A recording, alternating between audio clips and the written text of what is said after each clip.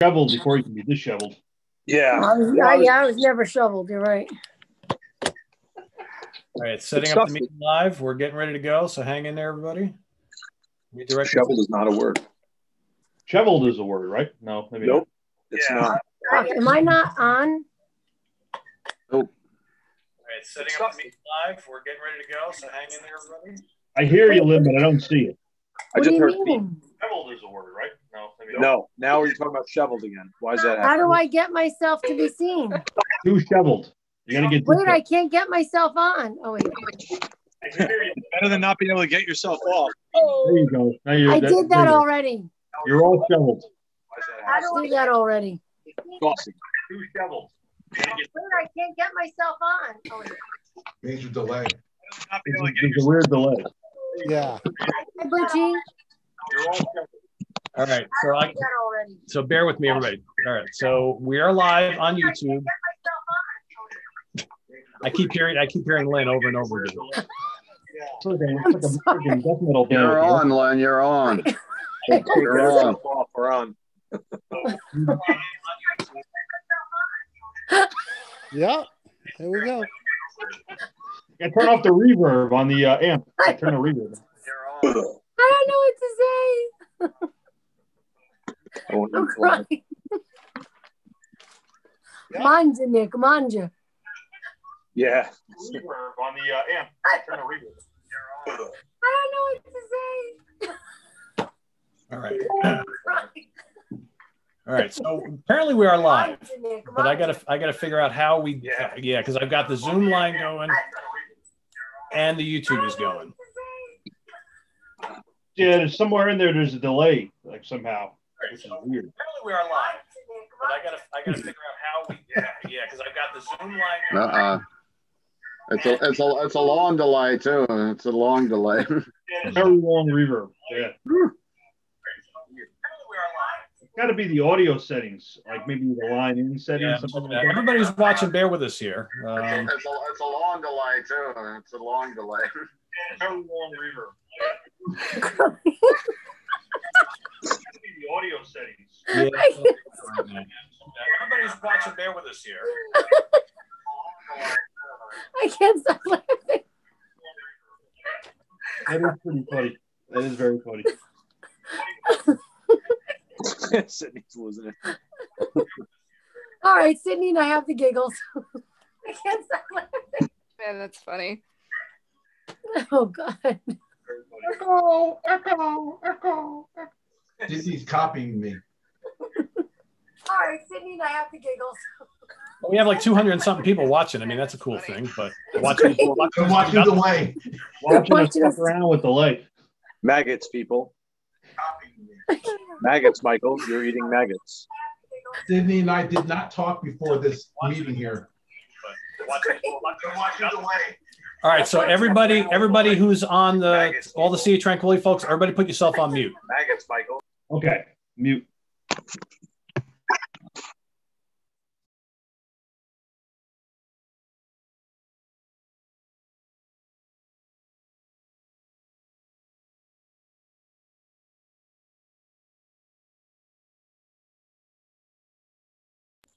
Okay, now that we're all on mute, I'm still going to get the delay. That's the weird thing. So, welcome everybody to our first live uh, Hudson Valley Square show.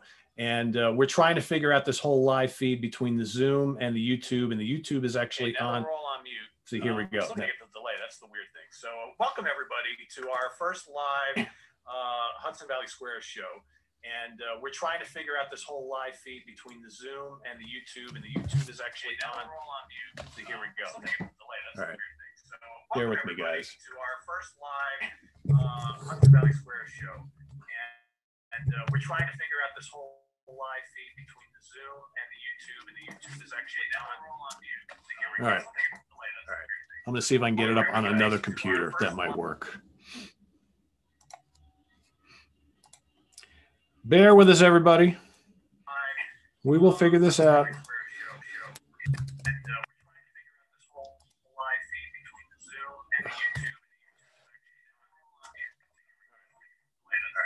Let's see if I can get it up on another computer. That might work. Bear with us, everybody. We will figure this out.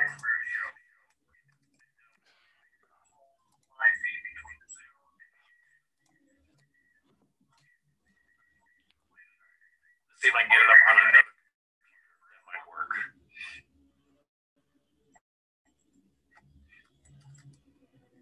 Bear with us, everybody. We will figure this out.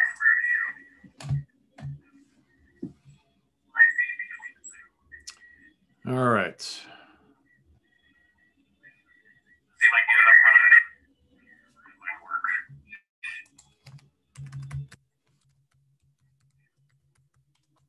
Bear with us, everybody. We will figure this out. All right. See if I can get it up on another. That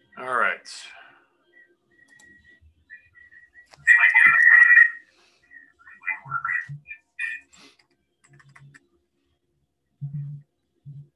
It's taking forever. We will figure this out.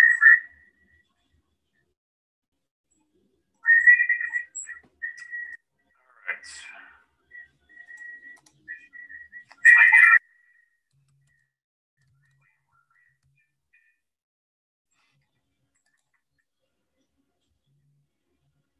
taking forever. It's like on a loop.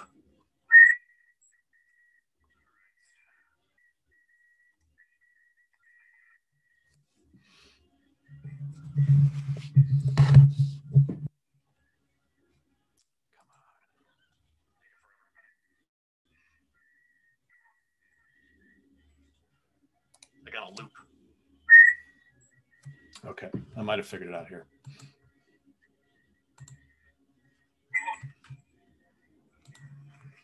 Like on a loop. Okay. All right, so I have us up on another computer, so with the volume down. So I think we're good. I think we're good. Uh, let me just let me just make sure that my um, I'm just gonna kill this other one here. Okay. Okay. I think we're good. Everybody's laughing. so I have us up on another computer, so with the volume down. So I think we're good. I think we're good. Why is it still coming Uh, through? let me just, let me just make sure that my uh, Can you hear me?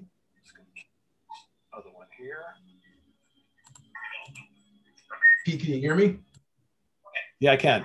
I think we're good. I think it's the same thing like when you call a radio station with the with the radio on in the background on the phone. You're getting that loop delay from your computer like you're thinking. Yeah, I don't know why. Can you mute the YouTube? Is that possible, or does it make you have the audio? Uh, I don't even have YouTube on this computer anymore. Same thing like when you call a radio station.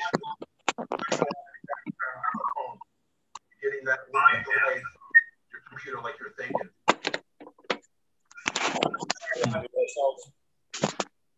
Can you mute the YouTube? Is that possible, or does it make you have the audio? Uh, I don't even have YouTube on this computer anymore. Same thing like when you call a radio station. Yeah, I don't even know where this where this uh, where it's coming from. The computer that you're speaking on is the volume down lower. Uh, I don't even have YouTube on this It's kind of like I think it's like a feedback thing. Yeah, see, I don't know where it's coming from. So on, I have YouTube on the other computer with the volume down, so it's not recording anything from there. So we should only be going through the Zoom. Right. But for whatever reason, I keep hearing that loop going, even though I don't have YouTube on this computer at all. So it's really bizarre. Yeah, see, I don't know where it's coming from. So on, I have it just keeps doing it. YouTube on the other computer with the volume down, so it's not recording anything from there. I'm trying to Google this too, Pete, and figure this All out. right, let's try. I, I think I just took care of it. Okay. It's about, it was about a 23 second loop. Okay, I think we're good now. I was timing it. We're good here now. All right, finally. All right, let's restart. So 12 minutes of mayhem. Uh, welcome everybody to the first live Sea of Tranquility uh, Hudson Valley Squares Monday night must see TV. We finally figured it out. Uh, so tonight we do have a topic. All right, uh, the topic for today Steve, what's up? I see Steve raising. No, Steve's just saying hello. Showing off. Well, let's his- say hello to everybody. So we've got we've got Ryan, we've got Chris, we've got Sydney, Butch, we've got Steve, and returning for a week hiatus, the both of them, we got Nick and Lynn. Welcome back, guys. Woohoo! What's up? Everybody is here. So uh, the topic of today is our favorite guest star appearances on songs or albums, whatever. So in other words, you got a band you love. They had a someone came in and sang a song with them, or played a guitar solo, or dual guest vocals. Whether it's a live album, a studio album, a hit, a hit single, whatever, doesn't really matter. That's going to be the topic of today. What we're going to do, I'm going to be kind of going through the um, the comments in the in the uh, the chat room. So in between everybody's kind of answers here. Uh, if you guys have a question, a specific question, kind of relating to the topic for any of the squares, uh, just pop it in the uh, chat room. I'm not to We're not going to be able to answer everybody's questions, guys. So just you know, keep me cog- cognizant of that. We do have 400 people already watching us, so uh, there's a lot of people, I'm sure. So uh, we're going to start off. How about uh, the folks who? Uh, let's see, Chris, you've gone last the last couple of weeks. So Mr. Allo, you're going to start off first today. Woohoo! That was Yes. I'm gonna I'm gonna chew up the scenery for the next 30 minutes. Up. I'm, I'm kidding. I'm kidding. I'm, I'll make this quick because I don't want to put anybody to sleep like last week. Uh, but yeah, so uh, I was starting to tell uh, Sydney and Pete before we went live, like like 35 years ago, before there was YouTube, there was me. Like before you could like just look up like any kind of band and watch a video. Uh, I was trading uh, video cassettes and audio cassettes with people around the country, demos, live stuff, and um, you know sometimes guys would throw something extra on a tape if uh, you were nice. You know you had to you had to do shit like send letters through the mail, which took forever. So I get this I get this um, bootleg Sabbath cassette, and on the end there's these two songs, and I'm like, what? I'm like, well, what is this? And it, it was it was Ronnie James Dio, but it sounded awesome. But like it, it definitely sounded, you know, it wasn't like like some old croaky elf bootleg or something. I'm like, it sounded really good, but I had no idea what it was. It was kind of proggy. There was heavy keyboards. Um, anyway, I, I, I found out later on through writing back and forth with this guy that um, right after recording uh, the Heaven and Hell record uh, with uh, Black Sabbath, uh, Ronnie James Dio uh, recorded two um, solo songs for uh, Kerry Livgren of, uh, of Kansas. And they're fucking awesome songs. Uh, it's uh, Mask of the Great Deceiver, which is like the, the heavy, the heavier song, and To Live for the King, which is the mellower track. And I mean, I didn't know shit about Kansas. I still don't. I know there's a guy with an afro, and there's a guy with a patch, and um, there's Dust in the Wind. And uh, this is the record. Uh, and there's it's two fucking killer tracks. And um there's even an interview on this version uh, with uh, Kerry Livgren where he talks about how weird it was because he apparently was like some super black magic dude in the 70s. And then he became a born again Christian. And he thought it would be so cool to have uh, the singer of Black Sabbath sing this like anti Satan pro God songs. But they're really great songs. Doesn't matter what they're uh, what they're about, and uh, it's really cool. So those are my that's my first pick. Uh, these two Dio songs uh, on the Kerry Livgren solo record called "Seeds of Change," which I guess must have come out uh, right around the time of Heaven and Hell. Cool. Very cool. Nice. Pretty awesome. I did not know Before we get to Ryan, we have uh, a couple of welcome backs to Lynn and Nick. All right. And uh, from a few people. And uh, we got a question for Steve. Steve, when are you going to open up a rock fantasy store in New Jersey? There you go. uh, maybe in another alternative life. Uh, I don't plan on opening any more locations. I'm a pretty old guy, and we've got one store, and we do have a website, rockfantasy.com, if you'd like to, you know, order some stuff online. But I really don't see me opening a store in New Jersey. There was talks of us op- uh, of a rock fantasy store being el- open in the LA area last year, but that kind of fizzled out with the COVID thing. No, I did not. I wasn't going to be there, but uh, someone else was going to try to use the name and kind of recreate our magic in Middletown in the big You're not city. that you're not that far from Jersey, Steve. You're only like an hour from Jersey, Yeah. really. Well, it depends. No, I mean we can, we can be in Jersey in 15 minutes. It depends where in Jersey we're driving. You know, like it could be three hours to drive to the south tip or four hours to drive down by, you know, Cape May or something. So yeah, it depends where you are in Jersey. We're not too far if you want to take a ride up. Yeah, for sure, day trip or something. All right, Ryan, what's your uh, first pick today? All right, so uh, late '90s, early 2000s, I was really, really into uh, Devin Townsend. First two Strapping Young Lad albums, especially the second one, City. When I heard that, blew my fucking mind. And his first couple solo albums, uh, uh, Ocean Machine, which I know Nick loves, Infinity, uh, Terria, and I kind of fizzled out with him for a while. And actually, I bought two albums, which maybe this is a common thing. If you own eight zillion million albums, like some of us do, you buy something, you put it on the shelf, you forget you fucking bought it. So uh, I was talking to Nick the other day about Devin Townsend, and I bought an album years ago. I, I totally forgot I owned it. I dug it out. I'm listening to it. I'm like, this is really good. And it was a Devin Townsend album from, uh, you know, I'm not even really sure what year. 2009. 2009 called Addicted. And uh, the vocalist on this album, he's always the vocalist, and he's a great vocalist, but it's uh, Anneke Van Giersbergen from The Gathering. She does vocals on most of the tracks, and her voice is amazing and uh, it's just it's a it's it's kind of typical music for Devin, but combined with her vocals, uh, I'll just pick one song out, the fifth track called uh, Hyperdrive. If you just Oh. want something to uh, YouTube just to check it out, absolutely fantastic. Like the duet Yes. of them, really good. So yeah, I'm going with uh, and I'm like, man, this album was sitting on my shelf for like a decade. I'm probably sure I heard it back then, but you buy a lot of stuff, you know, only so much space in your brain. So yeah, my first choice is uh, Anneke and Devin Townsend on the Addicted album from the Devin Townsend Project from 2009. Nice. Great choice. Great Great choice. choice. Thank you, sir. Sydney, we got a comment from Kid Johnny C. Uh, congrats on the great interviews for your podcast. Hearing you talk about discovering so much of the music that us old folks grew up on is so wonderful to listen to. Oh, well, thank you. Awesome. yeah, the podcast has been really cool, and there's a lot more coming up.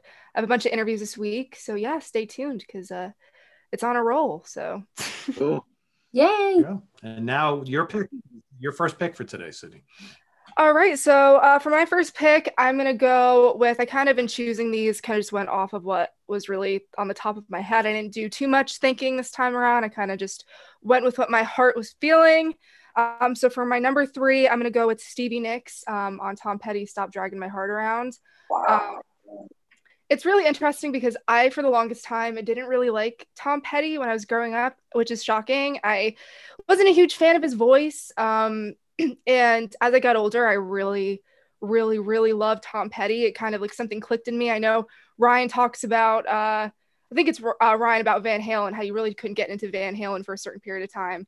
Um, and so that's kind of what it was like for me for Tom Petty. And one of those days I just put on uh, one of his records and it kind of just clicked for me. Um, and I love Stevie Nicks. I mean, how could you not? She's, you know, Stevie Nicks. Everything about her is magical. So I had to go with that song because obviously one of Tom Petty's probably biggest hits, but um, not my all-time favorite guest star appearance, but it's a it's a good one. So um, that's gonna be my my first pick for the night. Uh, Stop dragging my heart around. Good choice. That is a Good good choice. Uh, Ray Liade, I know you're watching. Uh, here's a hug back for you. Stay awake. All right, we got a lot, lot more coming here. All right, our center square, Mr. Butch Jones. Your turn. um, And, and Butch, we've had a couple people commenting on your bourbon. So you want to show everybody what kind of bourbon you're drinking tonight? This is friends of mine locally here in New York. If you can see, I, I'm still perfecting this thing. Um, Taconic Distillery. This is actually their Cabernet cask um, bourbon, and they're in Stanfordville, New York. Um, I go and help them bottle every whenever they bottle. I'm supposed to go tomorrow morning, but it's supposed to snow, so I'm probably not going. But Taconic Distillery. Hi guys. And uh, also hi to um, to my new people that have come to the butcher shop on Facebook. So I, I see you guys commenting and stuff. So hey. Um, so two things for me. Um, one one of my picks is not going to be what I think most of you are expecting it to be, which is I'm sure it'll get mentioned later. I'll mention it later on, um, but it's not coming. So if you can figure that out, if you know me from watching this show, I'm sure you can kind of figure that one out. Um, but so, uh, now for something completely different.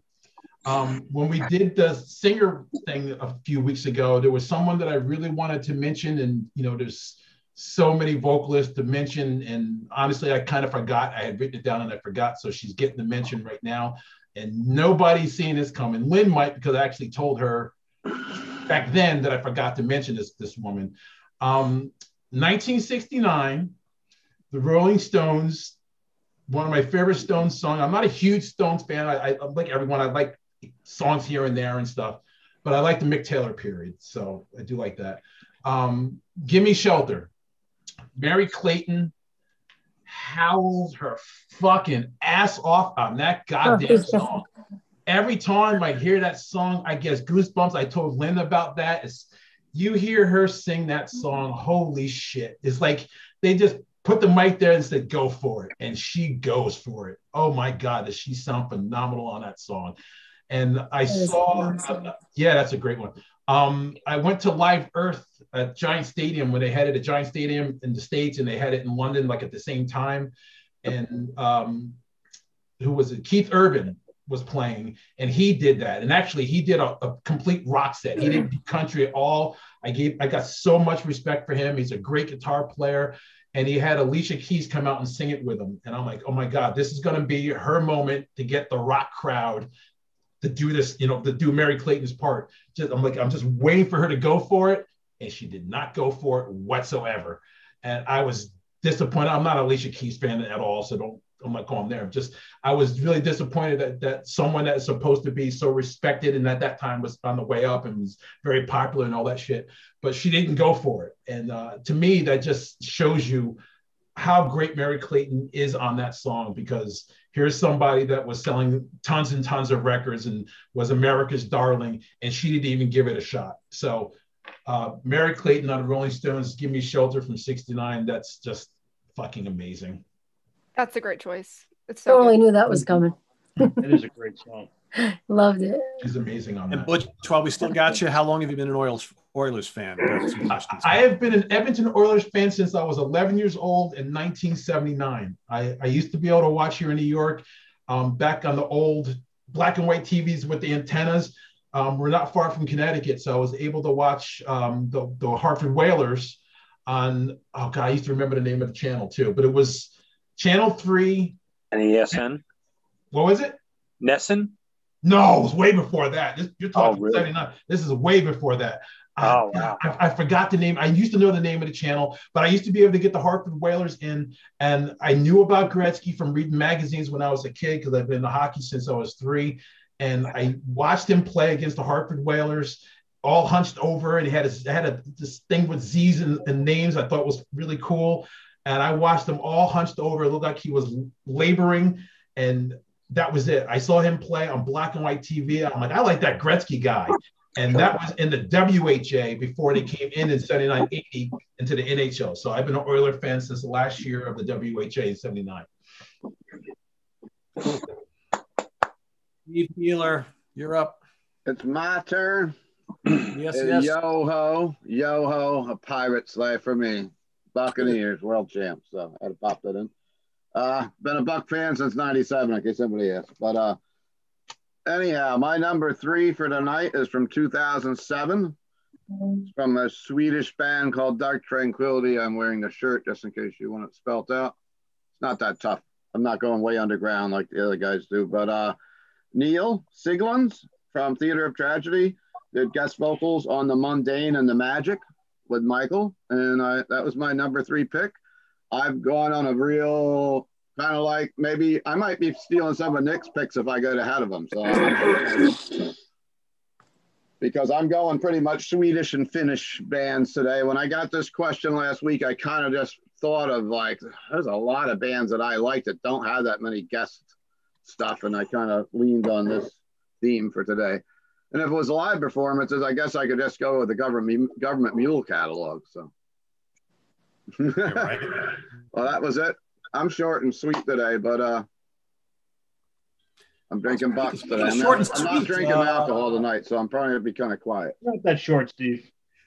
Don't put yourself down. So, so speaking of short and sweet, uh, Lynn, what do you got for us here? Oh, oh.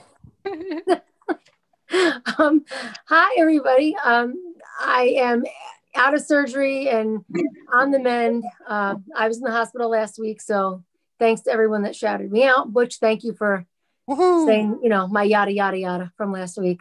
Um, but I wanted to tell you guys. So I almost died, um, unfortunately, but thank God I'm still here. You know, you guys talk about all these like evil bands and these messed up names. Well, guess what? I had a fucking necrotic gallbladder inside me, so I was really dead inside. That would actually be a really great did. name for a band. Necrotic. That's Yeah, new- well, that's, that's what I our new- said. So I'm going to start a band, and I'm going to call it Necrotic Gallbladder. Butch Jones on guitar. You better And patent he's going to be singing for me. Yeah, whole big band I got. Oh, now stuff makes a lot of sense. Dead inside. Now it makes a lot of sense. Thank you. Thank you. Fuck. That is Well, at least now you know. Now she's alive. She's alive. Yay. Yeah, well, anyway, she's I'm going to try to hang in as long as I can, you know. I'm in a lot of pain right now. But uh so in true me fashion, being the crazy Beatles fan that I am, I'm going with the 1968 White Album. I'm going with one of my favorite guitar players, or everyone's America's favorite guitar player, Eric Clapton, on While My Guitar Gently Weeps. Oh, you don't have to like him. I like him. I like Butch's face. There. That's a great song. Not song. really America's favorite. Not really. All right. Well, he's my one of my. I like him. One of He's a nice man, Mr. Eric Clapton. He's Nice. While my guitar gently weeps. I mean, it's a beautiful sound. It is. And you know what? He collaborated well with um, Harrison, and I guess he said it represented Harrison's spiritual isolation from the band. And him and Harrison actually collaborated much more after that. So I thought that was a cool thing, and I really love that song. It actually gives me the feels. So that's my number one pick. Yes, the feels. See, The I'm not dead inside anymore. Not dead inside anymore, Butch. Mhm. So You that's got my a, number a one. lot of uh, well wishes, Lynn, from our 530 odd people who are watching right now. So, Thank you. I a lot, appreciate lot of well that. wishes to I'm, you. so. I'm actually happy to be back. It's awesome. Lynn, And Lynn has the feels. It's good the to have you back, Lynn. Good to have you back. Thank you. Yeah, Lynn, we love you. Because we need someone to help pick on Butch. Yeah, well, that's Yeah, gonna when right I'm better, there. I'm gonna go to his house and kick his butt during one of these shows. So Oh, that should be good. We could maybe you could sell extra tickets that night, Pete. Uh, yeah, Little little a little wrestling match. yeah, yeah, sure. We'll do it You in have a Jello or premium something. stream. I, li- I live in the same neighborhood as Butch, so I'll come back Butch up, drop the gloves. Oh, You can man be, uh, in. you can be Well, good, then the, you can be the special guest Sydney will come referee. Third man in, Butch. Yes. Special guest referee. Special guest. Get it? That's the theme Yeah, I got it. Yeah. So, Mr. Franco, you're next. Also, welcome back after All a week hiatus. Good to be back. It's good to be back. Hi, everybody. So the first one I'm going to go on, I'm not going to my, you know, Norse stuff just yet, Steve. So Just maybe- yet. Yeah. No, I'm actually going to go with uh, something that I, I've always loved. Um, years ago, when I when I heard that, uh, you know, I'd heard of Girlschool, the band, um, and I got to see them at Sweden Rock back in like, oh man, 2000 something, four, five, I don't know, a long time ago, and and that's when I realized, like, wow, you know, these these are like the first, one of the first female bands to really get going, and um, anyone you know who knows them, they're they're really good, and I love when Lemmy performed Emergency with them. I knew that was coming. Oh hell yeah, Wow. I love that when they do, you know, uh, when they do that song together. It's like freaking, it's just awesome because they play it a little faster and it's just phenomenal. So I would say like the entire uh, Motor School, Head Girl, all of that together when they played each other's songs, yeah, and they were on top of the pops. That was amazing. They played the um, "Please Don't Touch" by Johnny Kidd and the Pirates. Uh, that you know, it was like a 1959 song. And they made it sound like a gritty, like punk 70s metal type uh, song. But I'd probably say "Emergency" when it, when it, Lemmy sings with them. An "Emergency" is probably my favorite moment. But um, and I guess the story goes that uh, Phil uh, fractured his neck or something, and their tour was delayed because you know they're maniacs. They were fighting and falling off shit. So uh, Phil Phil got hurt, and then the rest of them, you know, I think they uh, that was the impetus to do this. So um, just just an awesome up tempo, gritty punk type song when they do. Uh, which Emergency is a great song, and it's probably my favorite song by Girlschool.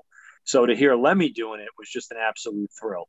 So I'd have to go with 1981's uh, Emergency with Lemmy on vocals by Girlschool. Yay! Fucking Yeah. Motorhead and Girlschool. Fucking amazing. I wish I could have seen that.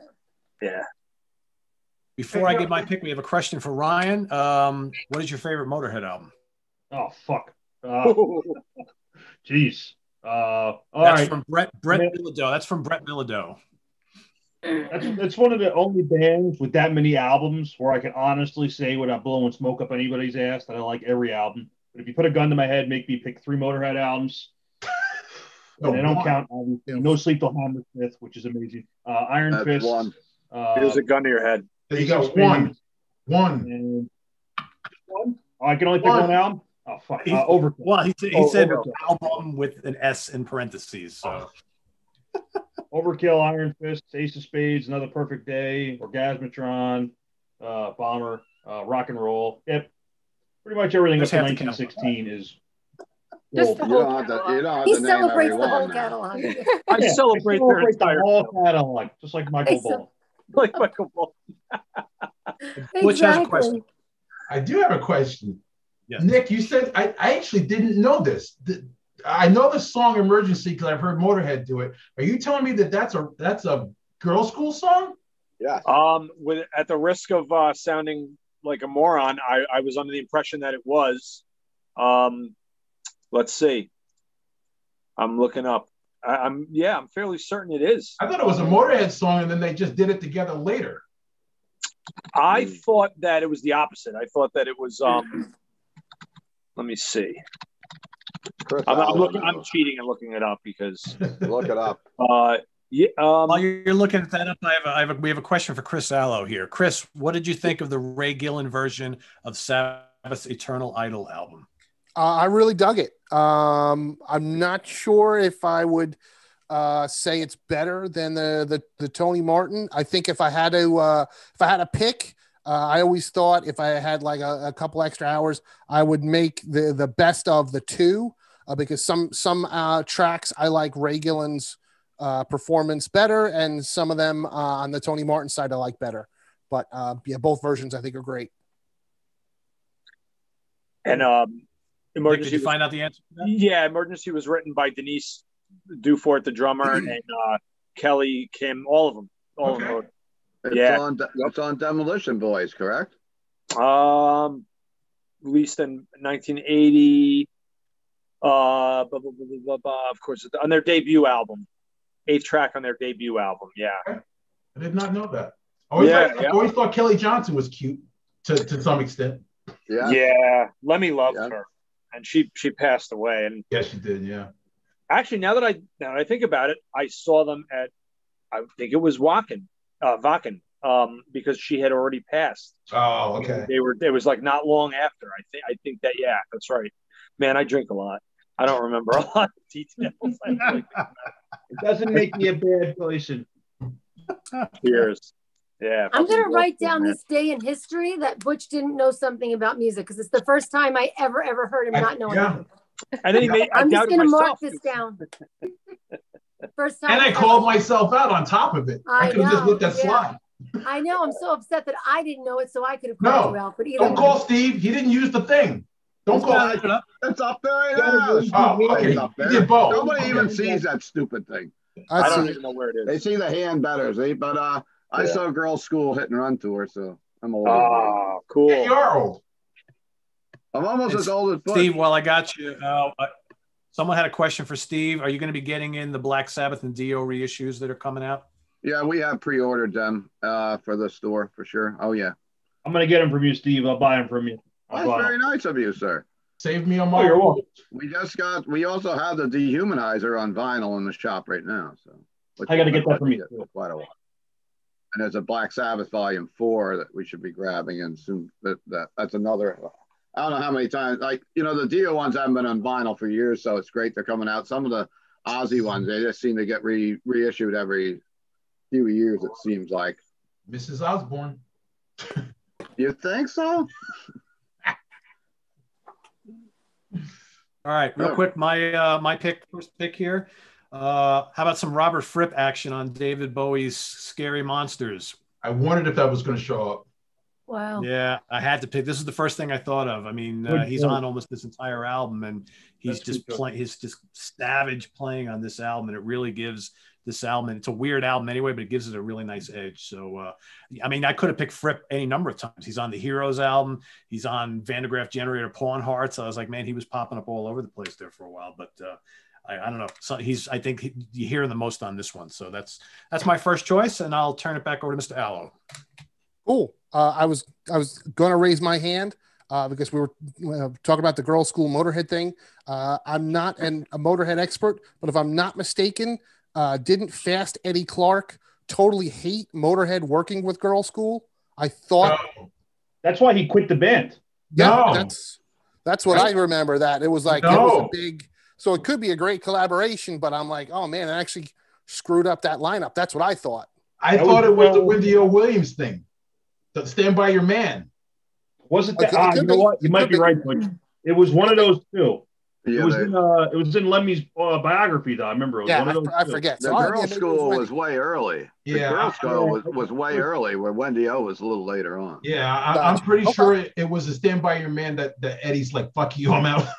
Okay. I Oh, was well, that's good. something, That- but I couldn't remember. But Butch, I think you're right. It was Yeah, Wendy. it was maybe. Wendy. It was it was uh he disapproved of them covering Stand by Your Man with Wendy. All Right. right. Well, there you go. Oh, Yeah. that's- Yep. Lena, I redeemed myself. See, there we You go. did. I knew you would. I had Fucking faith. fast Eddie. Amazing. faith. And Fast Eddie never came back either. Mm. Nope. Nope.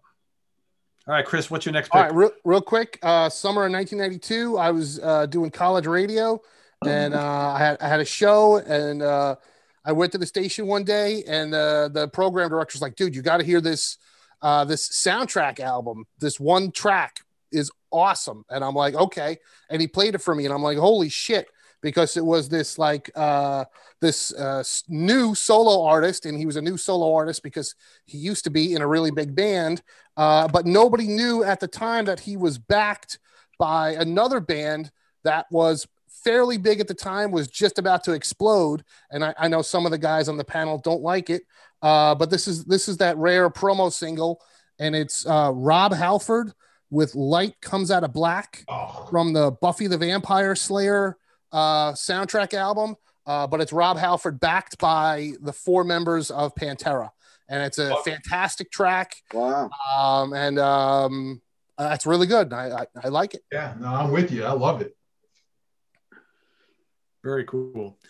Sydney, we got a quick question for you before we go to uh, Ryan. Uh, your favorite Scorpions album with Matthias Jabs on guitar? Um, it's gonna have to be Animal Magnetism. Um, I love Make It Real is probably my favorite Scorpion song, and it's really hard because at first I wanted to say Blackout, um, or you know, of course, I you know, such a fantastic record, but for me, it definitely has to be Animal Magnetism because ju- e- even for Make It Real alone, but the mm-hmm. Zoo and just oh, falling in love, it's so good. So that's gonna be my my pick. Wow. Surprise. Awesome. Hey, Chris, we have a request for us to do Backwoods horror episode on the Monsters Den. Oh, Just okay. That's that's good. that We for, that for sure. Okay. All Absolutely. right, Ryan, back to you. All right, so I just thought of this one like 15 minutes before we did the show. I was trying to think of a wild pick, a little something that nobody else would pick, and I got one. I pulled it off myself. So this is a uh, this is Slayer uh, doing a duet with uh, Mr. Ice T from Body Count and Law and Order Special Victims Unit. It Nice. is on the uh, soundtrack to a great movie with Denis Leary and Emilio Estevez called Judgment Night. Yeah, Judgment Night. And uh, the soundtrack, it's all collaborations between rock bands and hip hop acts. So uh, they did like Biohazard with Onyx, Onyx. Helmet, and House of Pain. And it is soundtrack. It's it's you know it's a very it's a very '90s artifact. But uh, they actually uh, Slayer and Ice T cover three songs by the punk band The Exploited. And it's kind of like a little medley. to do a mashup, and it's fucking great. Ice T sounds great on it. Slayer sounds great. I'm trying to figure out what year this came out. It was like the early '90s, like '93, '94. So probably around Yep. uh, the time of divine intervention, like somewhere in that era. But uh, yeah, really cool. So the song's called Disorder, even though it's an exploited uh, medley, and I love the exploited. One of the few like old hardcore bands I'm really into. So uh, yep, I'm going with Slayer and Ice T from uh, the Judgment Night soundtrack. And uh, 1993. Good one. Sold a bunch of those when that Yeah. came out. Really? Yeah, Really? Sold a bunch of those when that came out. Yeah, boy. good shit. Good movie. Good stuff. That's my favorite Denis Leary movie right there. Love it. Oh yeah. Wow, really? Yeah, he's great as the villain. Fucking awesome as the villain in that. I used to sharpen his skates all the time. Really? I worked at a ho- I worked at a hockey store in, in Brookfield, Connecticut. He became a, a good buddy and, and a regular customer. He, I, I was always late to work because you know I didn't feel like getting up early to drive all the way to Connecticut. And he was an early bird because he lived not that far from the store and uh, going into the city. So he would leave his skates for me and just you know I have to sharpen my skates. And No then shit. go down, yeah. So I, I've been to his. I got to play hockey with him at his house. So he's a, he's a great guy. Dennis is a great guy. That's fucking amazing. Very cool. Big. Bruins fan, right? Yeah, oh. He's a big Bruin fan, like I'm an Oiler and Ranger fan. Yeah, yeah, yeah. We had a lot of a lot of bouts. That's cool.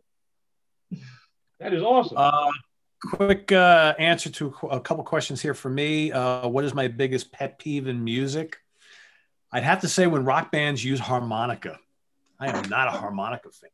Oh, I hear, I hear harmonica and I'm, Black Sabbath. I'd have like to that. agree. including the wizard. The Wizard. well, I'll, I'll, I'll Let give that them that. There's, there's a few that I don't mind, but man, for the most part, I hear harmonica and I, I, you know, I don't mind like blues, you know, blues acts doing it, but when rock bands do it, you know, or heavy bands do it, ugh, no, no thanks, not really interested. So back to Sydney. Um, so my second pick, and it's really funny because uh, I'm probably thinking that a lot of people are expecting me to say uh, Ozzy being featured on on Hey Stoopid, but not. I'm not. And we may get to Allison a little bit, but I'm gonna go with this pick. Um, I'm gonna do Ozzy on Black Label Society Stillborn, and I did a uh, little episode with Pete not too long ago, ranking the um the Black Label Society albums and uh or songs. And um stillborn is my favorite one. So you know I, I had a conversation too with my dad about this and it's it makes me wonder if stillborn was a song that Zakk and ozzy originally wrote together for like an ozzy album or something because i feel like it could have been an ozzy song on some of those later records so um I, I love that Ozzy. You can hear him so clearly, and I feel like Ozzy probably just had such the vocal chops for that too. You know, aside from of course Zakk. So I'm gonna go with uh, Stillborn um, and Ozzy Osbourne. So yeah, great choice. That's on my honorable mentions. Yeah, it's a good one. Love- That, that song. Love me some Zakk.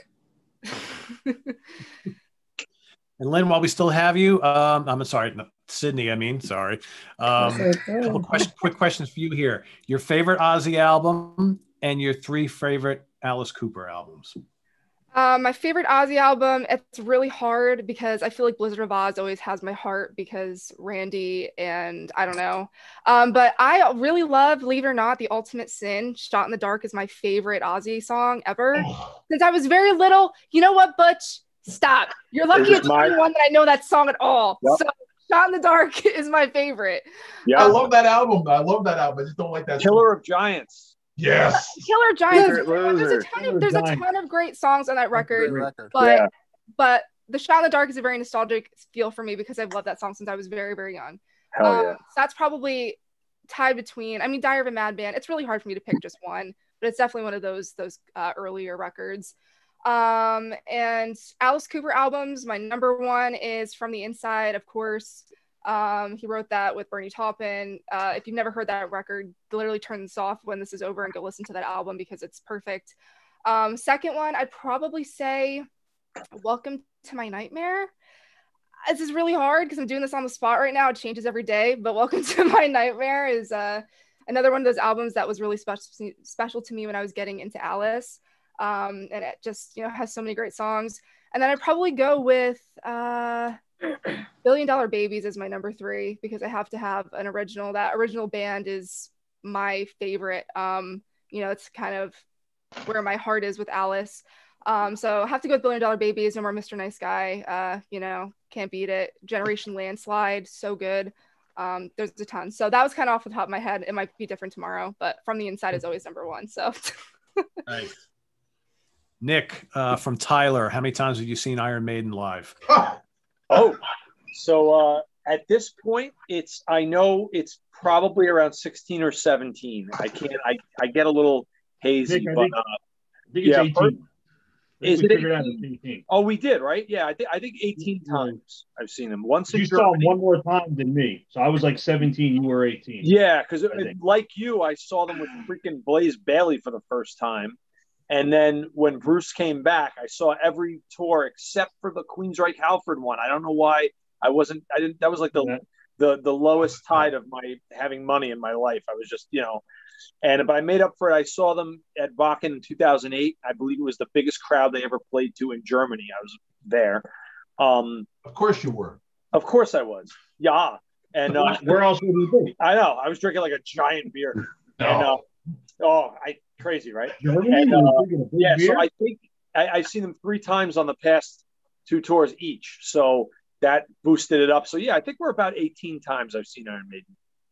Nice. that sounds about right. What's, what's sad is that I, I know when Nick came into Maiden when he's when he first started seeing him, and, Yeah. and he's seen them more than I've seen them, but Right. I've seen Iron Maiden since 1982. Yeah, I know. but somehow, Me but somehow Rookie he's still numbers, man. You pump those I numbers up. know. You think I don't know that? He sees them 18 times on one tour.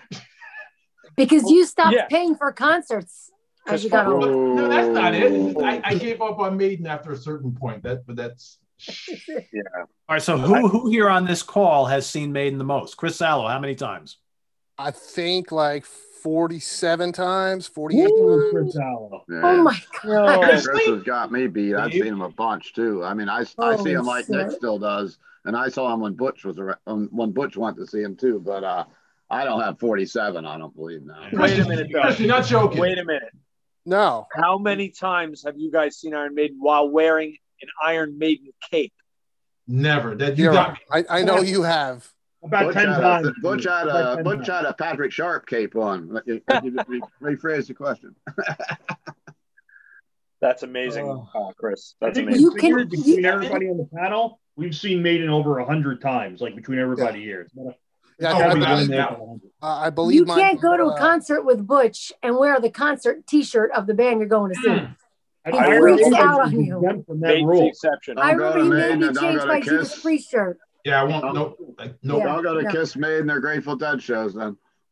Maiden is only Maiden shirts, and everybody's got a different shirt on because they got that. No, he won't allow it. Same thing as Kiss. Same thing as the Dead. And you can't and you can't listen to the band that you're going to see that On the way there.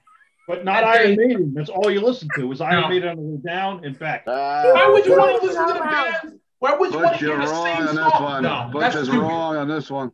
That's no, we're not allowed. You can't go with them then. Everyone comment comment about that because I think that that's the most ridiculous thing ever. You're going to go see the band and you know the songs, so you're going to listen to the songs on the way all day long and on the way there, and listen to the band play the songs and then listen to the songs on the way home. No, Ah, you're It chirping. depends on what you're you're, chirping. listening to, though. Because you, can- you can listen, like, perfect example. So, Steve and I and, and Ryan, uh, like, I don't know, 10 years ago, whatever the hell it was, we went to see Black Sabbath in Jersey.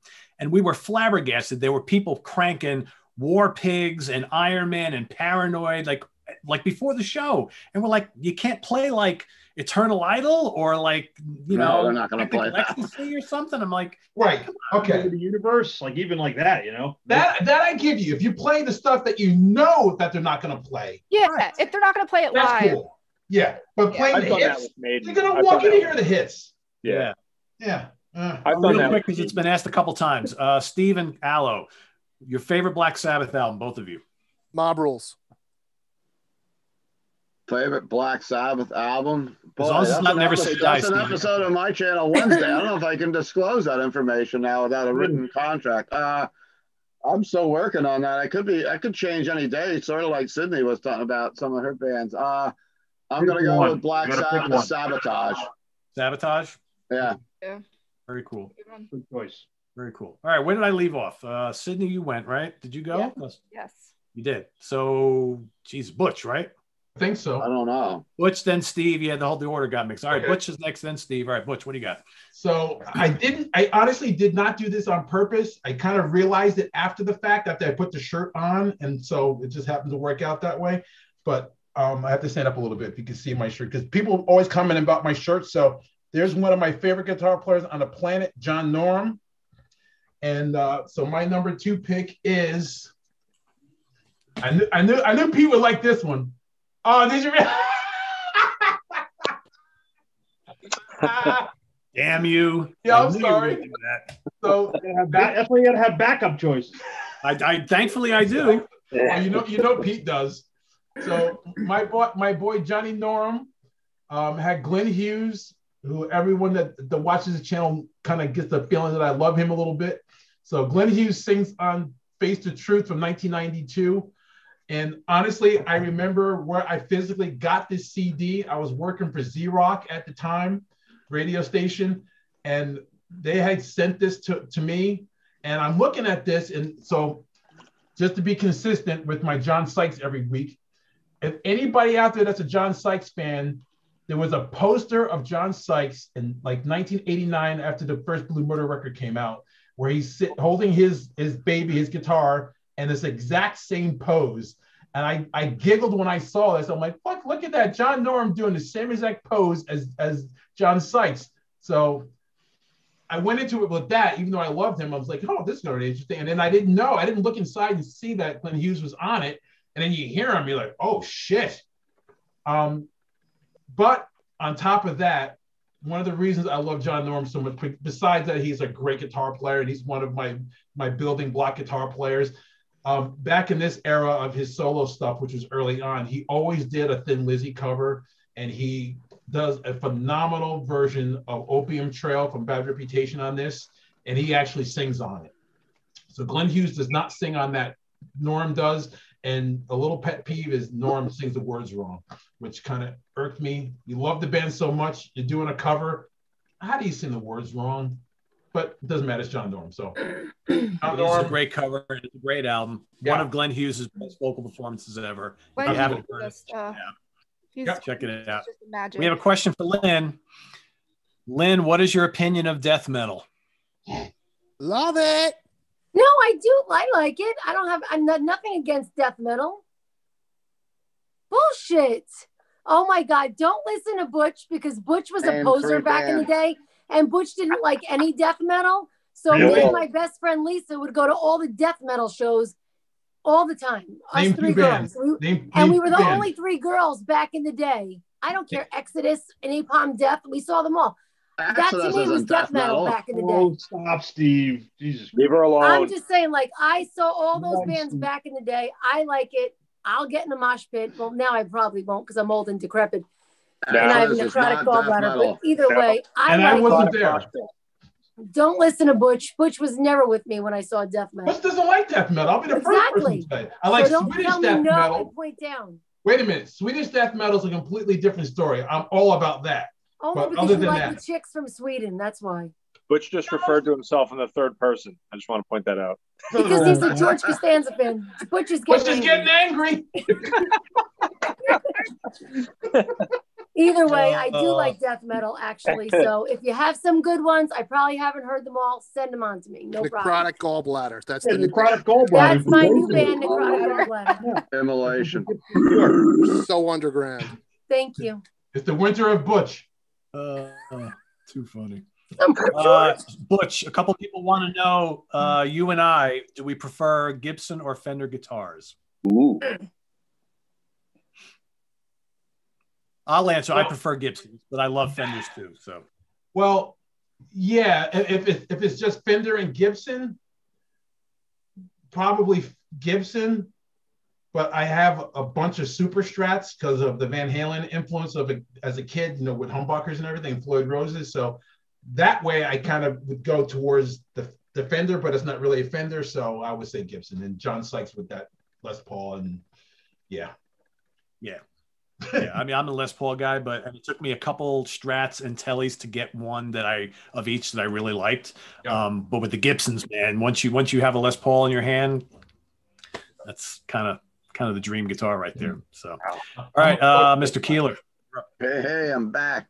Exodus is not a death metal band. They're thrash metal, and I don't want to pick on you because you just came and just came back, and Whatever. I love I'm you. sick. I'll do it. was death metal. I don't care.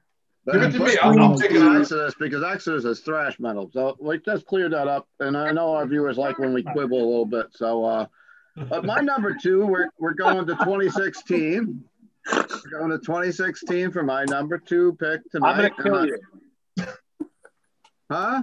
Go ahead. I'm gonna kill Well, you. you know what? If we both pick the same thing, the show will get over quicker. So we can both talk about the same one now.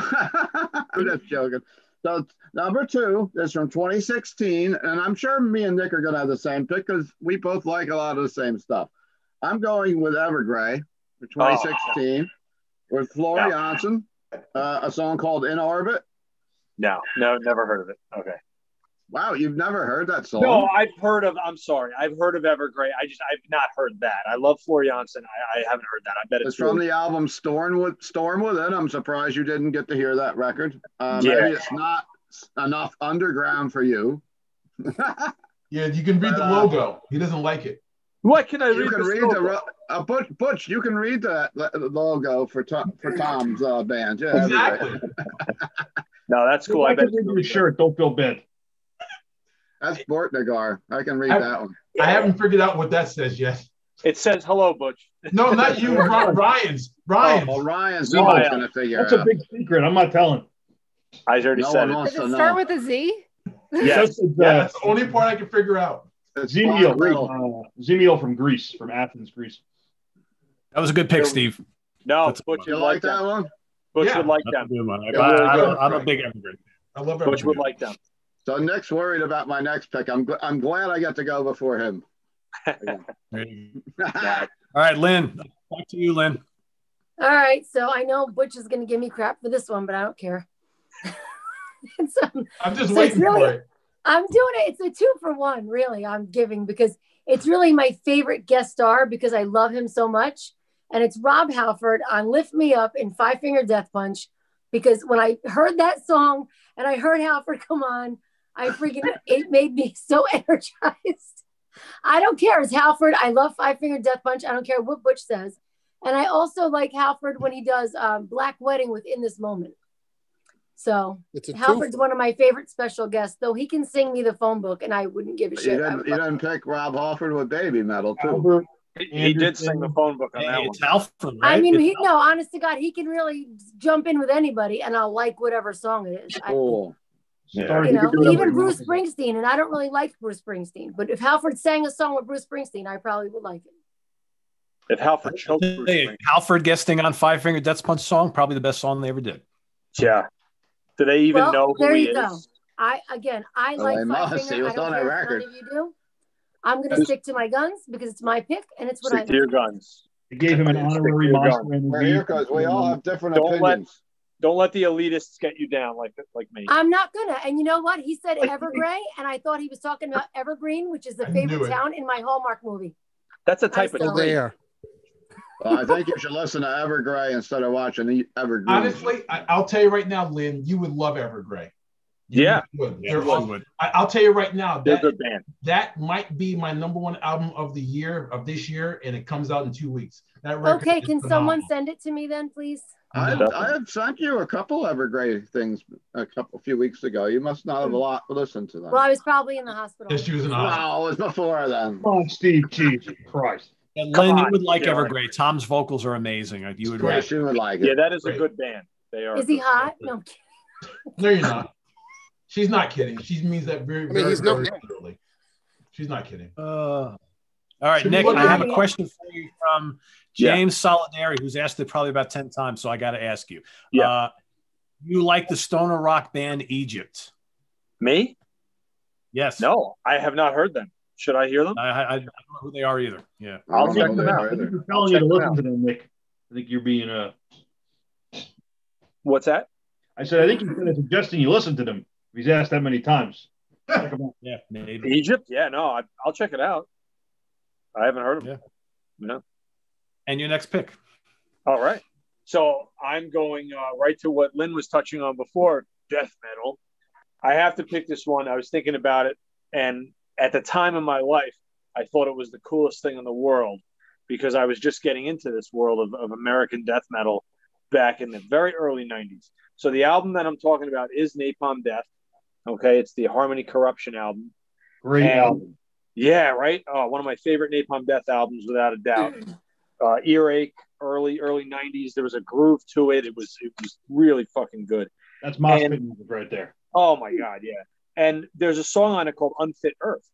Um, and the cool thing about that was that you had uh, you had not only you know Barney on vocals, you had uh, Glenn Benton from Deicide and John Tardy from Obituary also you know sing on this song. And obviously they're they're they're screaming and you know you know but um they were those three guys were probably along with David Vincent from Morbid Angel were for me like what death metal meant in the early 90s and Hmm. to have uh, two uh, you know two of those guys appear on a Napalm Death album even just the one song um, was just cool and kind of unexpected.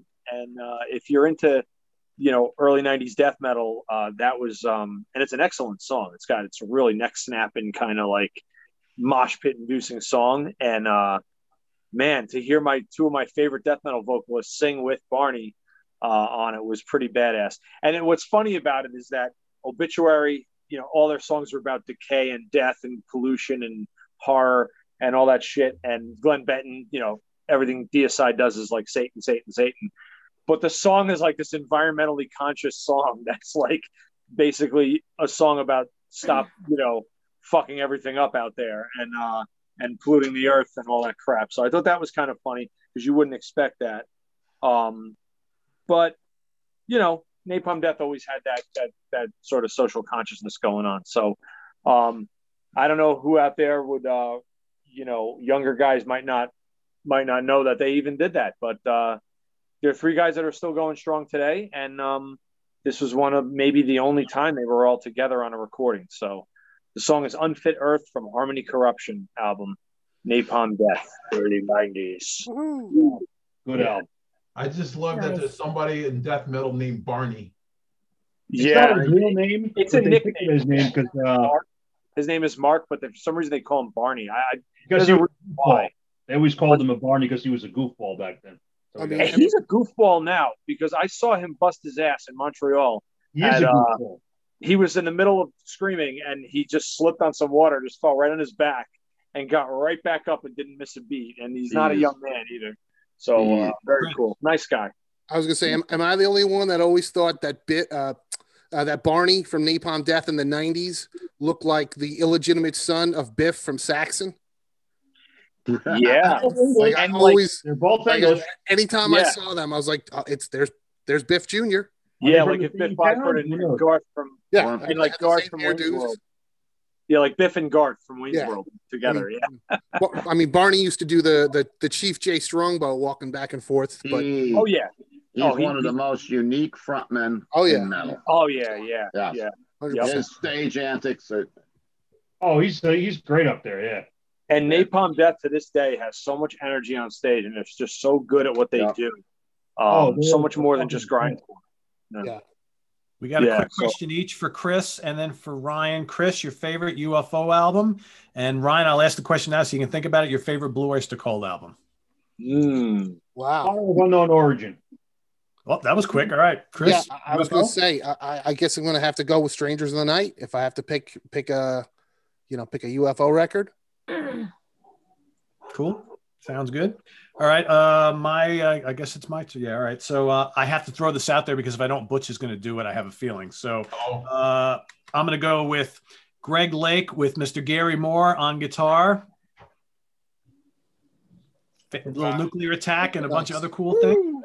I mean, uh, Greg Lake was never heavier, and um, Gary is just absolutely shredding balls on this man. I just, uh, oh, we miss Running him. balls. I like that phrase. So, yeah, I had to pick Who doesn't? great live album, great live album. So that's that's my pick, and uh, back to Chris. wait, hold, hold on a sec. Hold on, hold on. I'm out. You can't, you can't. I'm sorry. Hang on a second, Chris. He just threw Gary away. Just moving on. Gary destroys on that fucking record. Right, he does. Oh, He shreds balls. God Great damn. Tell record. me more, it. Daddy. And, and, this, and it's funny because most people don't even understand or realize that he was even with Greg Lake in the band and did a tour. And it's a King Biscuit Flower Hour thing. Gary destroys on that. Nobody Yeah. knows what that is but us. Fred's balls. Oh, there's a million people watching us that know the King Biscuit Flower Hour. I think there's some people our age. I, I know that. We have well- almost we have almost 700 people watching this, guys. Oh, But, I mean, Oh but, my God. but, but Steve, you know what? King Biscuit I is, my is a long time ago. Don't pick your Uh, nose. definitely 70s, yeah, Yeah. 70s, early 80s, yeah, yeah. Gary Moore, yeah. Anybody that's a Gary Moore fan, and God knows I am. Anyone that's a Gary Moore fan, if you don't have that, if you've never heard at least that that Greg Lake live album, Amazing.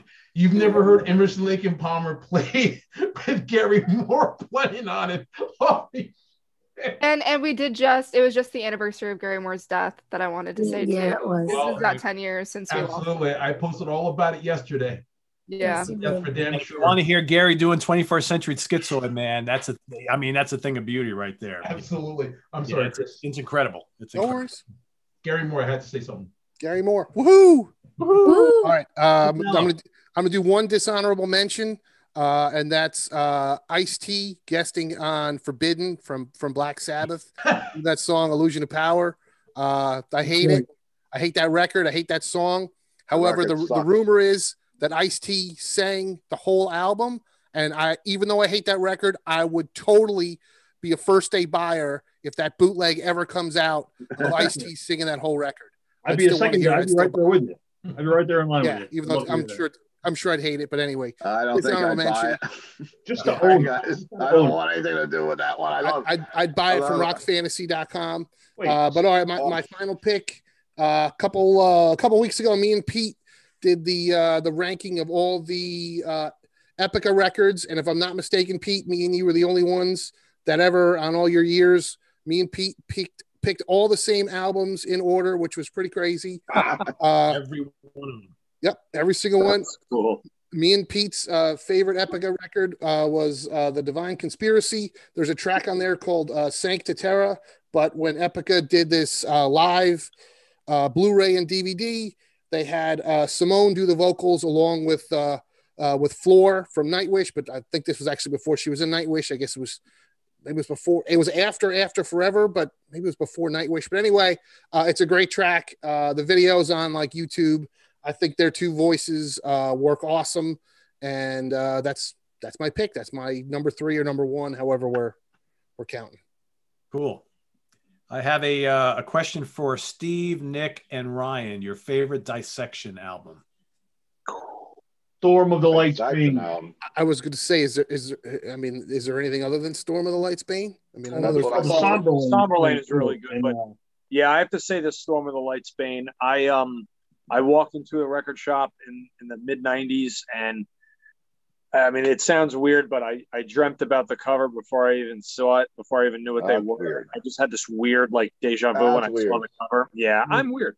Tripping And, um, Yeah, and that was like my introduction to black metal. That fucking thing, Storm of the Light's Bane, amazing, amazing.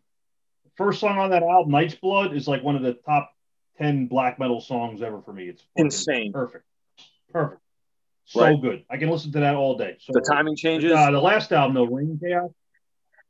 Crap, I don't like that one. But the Yeah, first me two are neither. really good. Me neither. Same. So we couldn't have a week go by without a John Sykes question. Butch, uh, your opinion on the news that came out that John had auditioned for Guns N' Roses? I had heard that back in the day, but it, I never got the details. But I just heard that he had done it. Um, must have been bored, and there must have been a good payday. um, I, I can't even imagine him being in Guns. I mean, can you can you see that him and Axl up front? I, yeah, but you know what? From the Don't hate. I'm not hating at all. It, it would it would have been cool, but I'm glad he didn't do it. I'm glad he didn't get it, and I'm glad he didn't do it because that would have been. Well, he, he let, us put it this way.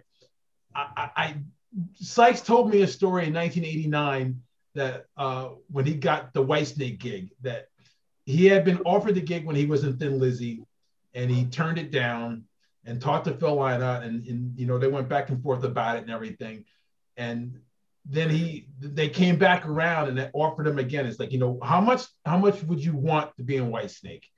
And he told them a million dollars.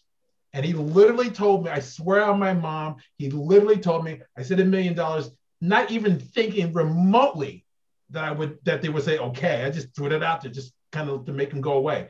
And they came back and said, okay. And that's when he joined Whitesnake in 84.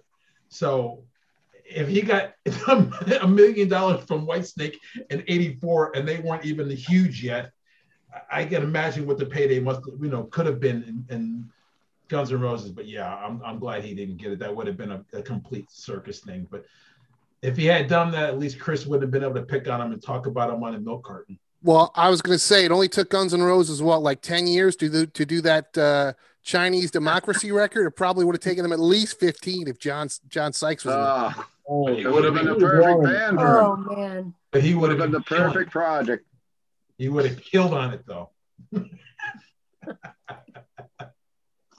Before we get to Ryan, Sydney, your first concert you ever saw?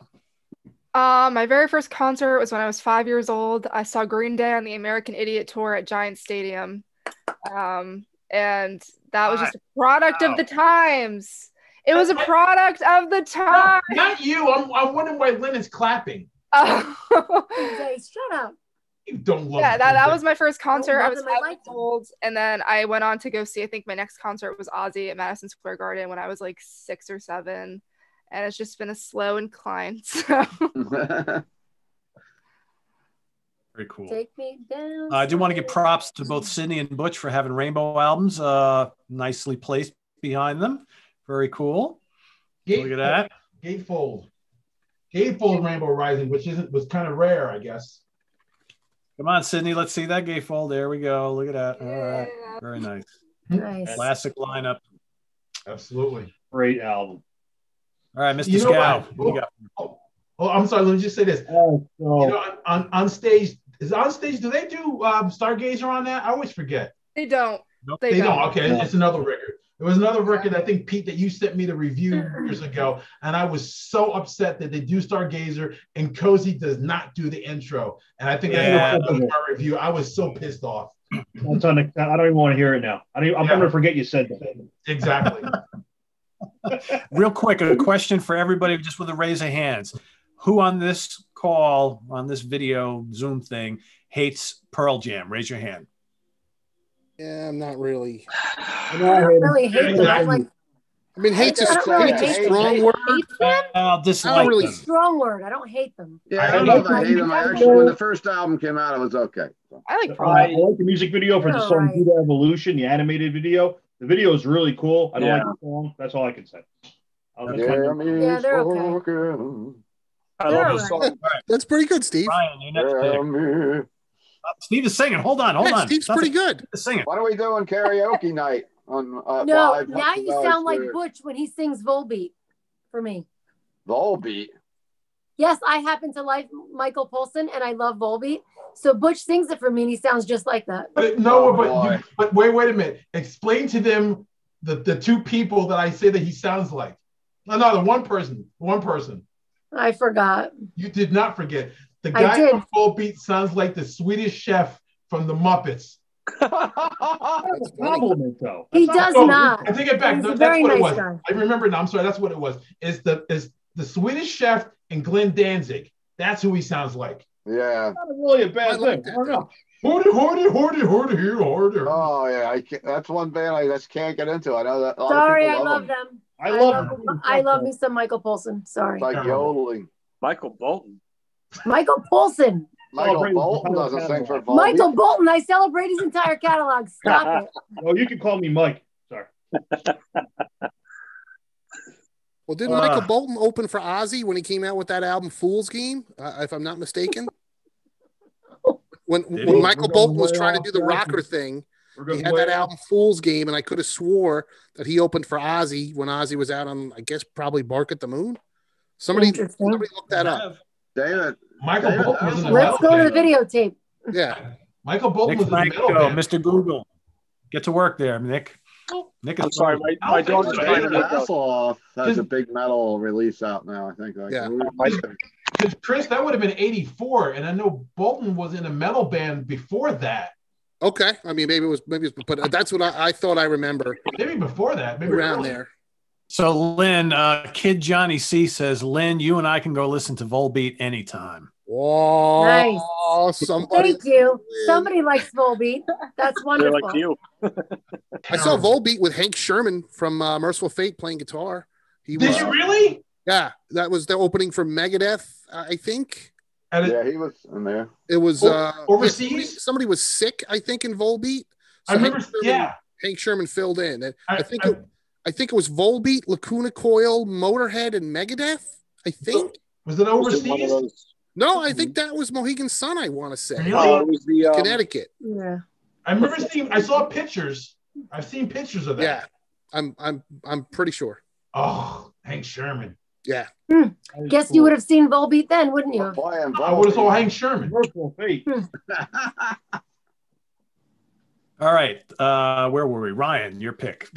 All right, I'm surprised no one picked this one. Uh, so I'm gonna go an obvious one here. This is kind of like a uh, heavy metal version of uh, Conway Twitty and Loretta Lynn, but uh, it's Rob Oh. Halford and his 2000 album, uh, Resurrection, Yay! and it's it's a duet with Bruce Dickinson. Uh, I don't even like the song. I'll be honest, I don't like the song, but to have the two of them kind of going back and forth in like that that country duet fashion. The song's called uh, "The One You Love to Hate."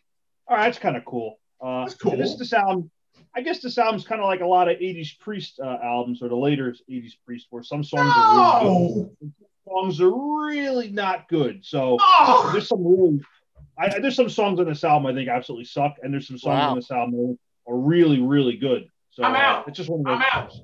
Which I'm uh, out. I've is heard left out? album in years. I'm gone. down, Butch. I'm out. Sit down, Stymie. Let me know when it's my turn. I'm out. Uh, That's it. I'm out. Well, that's my choice. I'm going with uh, the one you love to hate. It's not. It's actually okay. One of the okay songs in the album. It's in the middle, but uh, to hear the two of them kind of go back and forth, they're like a duet like that, where they trade, you know, trade choruses, is very cool. So uh, I'm going with Rob Halford, Bruce Dickinson, 2000 Resurrection, and uh, actually that was the first time. Uh, That's a first time I fine saw choice. Halford was on. They uh, when they opened for when he opened for uh, Iron Maiden, the tour that Nick missed in uh, 2000. I saw them in uh, Scranton, Pennsylvania. And it was them So did I. and uh, yeah, that was cool. Uh, cool show. And uh, yeah, obviously he played a bunch of pre stuff too, but uh, he played a whole Yeah. bunch of songs from this album. Played the good songs from that album, and yeah, it was good. It was a good show. Song No. Resurrection. Now, Resurrection's a killer tune. Unbelievable. What a Great. song. Made in Hell, Nightfall, Sci- so like half the album's good. It's like a 50-50 uh, we're only talking about one song. Which one? So, um, you're saying you're comparing yet? this to Conway Tw- Twitty and Loretta Lynn. Now, who's going to be Loretta Lynn out of this couple? Is it Rob Oh, no, Halford or is it Bruce? Ooh, not touching that. Oh, Does it sound anything like uh, No, I'm Mississippi? saying like the way they Pull back, back and forth. It pull was like a back. country duet. Wow, well, I mean, that could be Ozzy and Lita. That could be all different things. No, I no. don't know. It's, it's a viewer. It's Steve. That's up to you. Which one of them sounds like a Loretta Lynn? That's that's all. I you. don't think either one does, but um, I, I, I, I can't even. Butch is You just meant Butch star might want to walk over and check the hockey scores I'll be back in a couple. I'm checking right here because I'm missing my Oilers and the Rangers. Oh, I love that. Ryan, really? You don't like that? I love that record. Oh no, some songs are really. It's like uh, it's like Defenders of the Faith to me. The side A, Defenders of the Faith, oh. one of the best songs Priest ever wrote. Ugh. Side B, eh, not the best Priest songs. But it's like- of the Faith is an awesome album. Yeah, I I got to disagree with with Ryan as well. I, I love I, the know that you're here to record, support and I love your, your Defenders of the Faith. following. Your Listen, if, if it wasn't for like the certain- Resurrection album, Halford would not have been back in Priest. I mean, that was the record that did it. That Oh no, I I Yeah. agree with that. I totally brought agree him with back. that.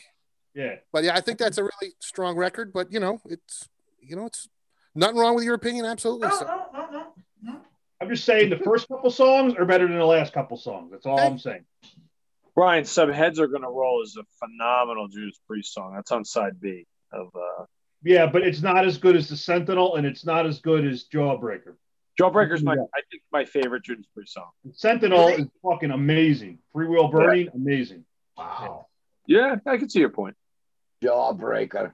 Jawbreaker. All right, Sydney. Uh, before you give your next pick, we got a couple questions for you. Um, your favorite scene in Almost Famous, and who's the next interview you have coming up on your podcast?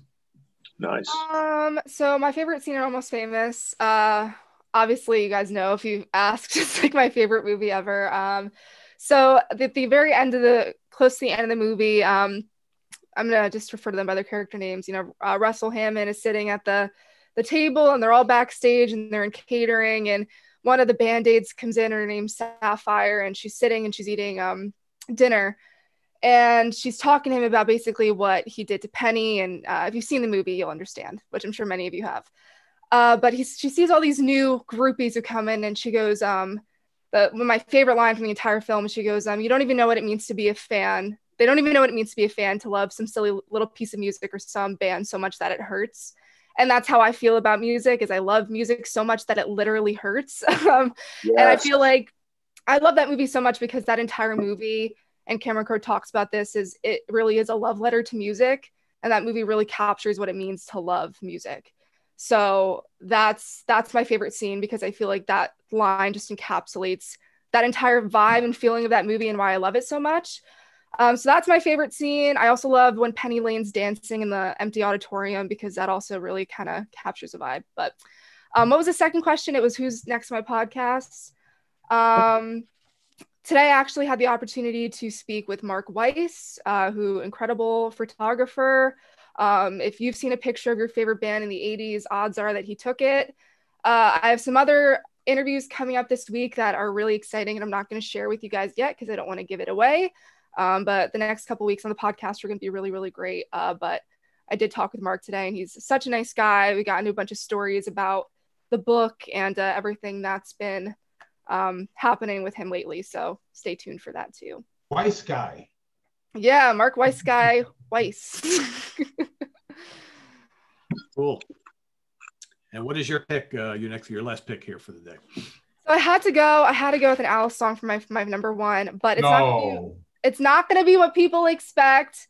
Um, I'm going to go for a song off of one of his most recent records, and some people don't like this album, but personally, it's my favorite uh, Alice new, like new Alice record.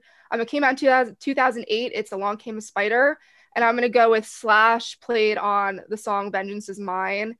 And I think it's such a it's such a great song. Um, and I think Slash brings so much to it. You know, Slash has that kind of bluesy edge to him. Um, and I think that him and Alice work really well together. They haven't done too much. I mean, they, he did some stuff on Hey Stoopid as well, but he kind of came in and I think Slash really kind of put his edge on it. So I love that song. That's another concept album. I really love Alice's concept records, if you couldn't tell. Um, and I think that, that one is just his best out of his newer records. Um, some honorable mentions I had um, was, of course, Ozzy and Lita Ford, Close My Eyes Forever, because duh. Um, I love 80s metal. Um, also, Roy Harper singing on Pink Floyd's Have a Cigar, which is pretty much the uh, catalyst for a lot of resentment in that band, uh, which went on to, you know, have a lot of whatever that later on would cause them to break up. Um, I'm surprised uh, Butch hasn't mentioned it yet, but Out in the Fields is is one that is an honorable mention. Which who knows? He might mention it. He might not. I don't know. Um, and yeah, those are those are my honorable mentions. Also, I have to uh, mention uh, David Bowie and Queen, obviously under pressure. That felt like a really obvious one, so I didn't want to have it be one of my picks. But David Bowie is like one of my favorite artists of all time, and uh, Freddie Mercury, come on. So uh, those are that's my number one and my honorable mentions, and uh, yeah. Cool. Yeah. Awesome. Nice. So Butch, before you go next, and I'll have you start here. Uh, we have a question for all the squares here, real quick. Your favorite guitar player of all time, Butch, go. Oh, Jesus Oh, Jesus Christ. Um, there's reasons why, but I'll, I'll say John Sykes because Sykes is my hero. Okay, Chris Allo, Tony Iommi. Ritchie Blackmore, Steve, Carlos Santana. Sydney, I don't know. Uh, there's so many. Um, I don't know. Which one Um, do you think of? I- the first one I thought it was Randy Rhoads. There you go. Yeah, so you There got. you Ryan, Uh, Piggy. I knew it. I Boy. knew it. I knew it. You knew it. Piggy. Love did. him. Love him. I'm thinking Piggy the whole time. how is it you had that CD like right right there to, to show? How is it you had that CD right there? I was able to grab it off the shelf. It was right there, my V's in my CD collection. I fucking love Voivod and I love Piggy. But Why not? uh, you know, you know, I was going to say you go. Lynn, favorite guitar player, Michael Schenker. Michael Schenker, cool. Yeah, Nick, such a delay on that one. We were all like, Yeah. Um, I don't know It's why. hard to pick just one, but uh, Adrian Smith, Um, Esa Holopainen from Amorphis and Sharon McCumley from uh, Primordial. Listen, they said one. I had to say one. You pick one. You're right. You're right. You're right. Follow the rules, Nick. All right, we'll go with Adrian Smith. Jesus Christ. Good choice. Good guitar Adrian. Smith. All right. Very cool. All right. Butch, back to you. Uh, your final pick for today. Thanks, Sydney. Um, well, I'm going to give you my my honorable mention. So what I was talking about in the beginning when I started was uh, everyone knows that that Edward Van Halen is is uh, is beyond a god to me, um, but he was Eddie. I have it. I've been saying forever. There's Edward and there's Eddie, two completely different guitar players. So obviously everyone loves the the Eddie thing on Beat It. That's iconic but it doesn't mean that much to me because I was into him years before, and that's when the world caught on to him. And eh, that's, the, that's the Eddie thing. That's not the Edward thing. The Edward thing would have shredded up a storm.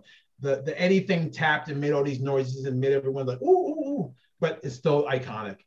Um, another one for me is uh, Stevie Ray Vaughan on Let's Dance with David Bowie. Um, I, I think that that's awesome. He does his little things. Just, just the little notes that you hear, you're like, well, that's that sounds like Stevie. And I think that that's badass. And I, I do have to say this just to kind of again, you have to get him in as much as I can because God knows I love the guy so much.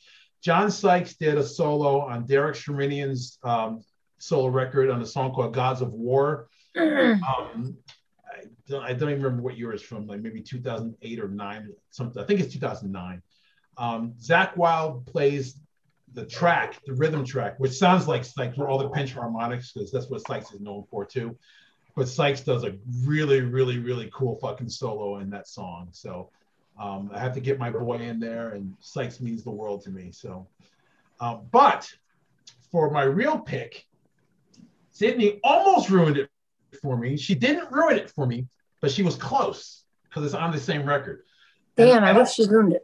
so it's on. This is the this is the 12 inch single of Out in the Fields from Gary Moore's Run for Cover from 1985. And hey, Pete, who sings on that album? Pete knows. Pete knows that Glenn Hughes sings on that album. Oh, Only yeah. 12 inches? What, three songs, right? Three songs on that album? Four songs? at- at least I think he sings more than that. But it's not Out in the Fields. It's the other song that's on this 12 inch single that you probably can't see. Well, you can kind of see. Is the song Military Man. Uh, Military Rent's great. Yeah. military man I, I mean i just i just love looking at those two right there and and they're both gone and that means so much to me god knows god damn it but military man has the greatest gary moore guitar solo of all fucking time there's two solos on that song and i'm everyone knows i get worked up when i'm talking about my favorite guitar players but goddamn the second solo i mean the first solo is brilliant the second solo in Military Man, and, and backing up, Phil Lynott sings the song, so that makes it even more grandiose. But the second solo on Military Man makes me cry every single time I hear it. It is so much emotion in that solo. He built Gary just builds it up and just gets into a complete Gary Moore frenzy. Because, like I've said forever, there's nobody that had as much fire as Gary Moore did. And mm-hmm. that solo, my God, I, I, I defy anybody to listen to that second solo and not get emotional listening to it. He just tears it up. It just builds and builds and builds and builds. And my God, I'm I'm getting misty just talking about it. It's like I, I've I've heard this song so many times, and I have obviously I have the vinyl and the CD, but and re- honestly, what's really funny is this 12 inch single. I've never played it. I, I bought this. I don't even know what year. I, I probably bought this when it came out, 85 or 86 at a record convention or something. I don't think I've ever opened it completely. It's still sealed. Wow. I don't, yeah, I don't think I, I, I can guarantee you I've never actually played it. I just bought it because it was those two and it was like they were on the cover and on the back of it. Yeah, that Gary Moore just shreds on that fucking song. That that's that's easily my, my number one. A couple of our viewers think Butch needs a tissue. Yeah, Yeah. right. Could get a Right. for him. I, I, I have literally caught myself in the car or sitting here at the computer and that song comes on because I always have my music and shuffle and a song will come on and it's like I, I, get, I get excited when it comes on and then that first solo plays and then and it slows down and gets misty and then so and the second solo comes I'm like oh shit here it comes I can assure you, Butch needs much more than a tissue. yeah T- Tito give me some tissue it's, That would be a good uh, topic. Would be like song we admit songs that made us cry. oh Oh yeah. it, it- it's That's a I good. I I have unabashedly. it makes me so happy hearing it. I mean literally that's Yeah. my favorite Gary Moore solo solo on military man my God, The Katatonia episode. Yeah.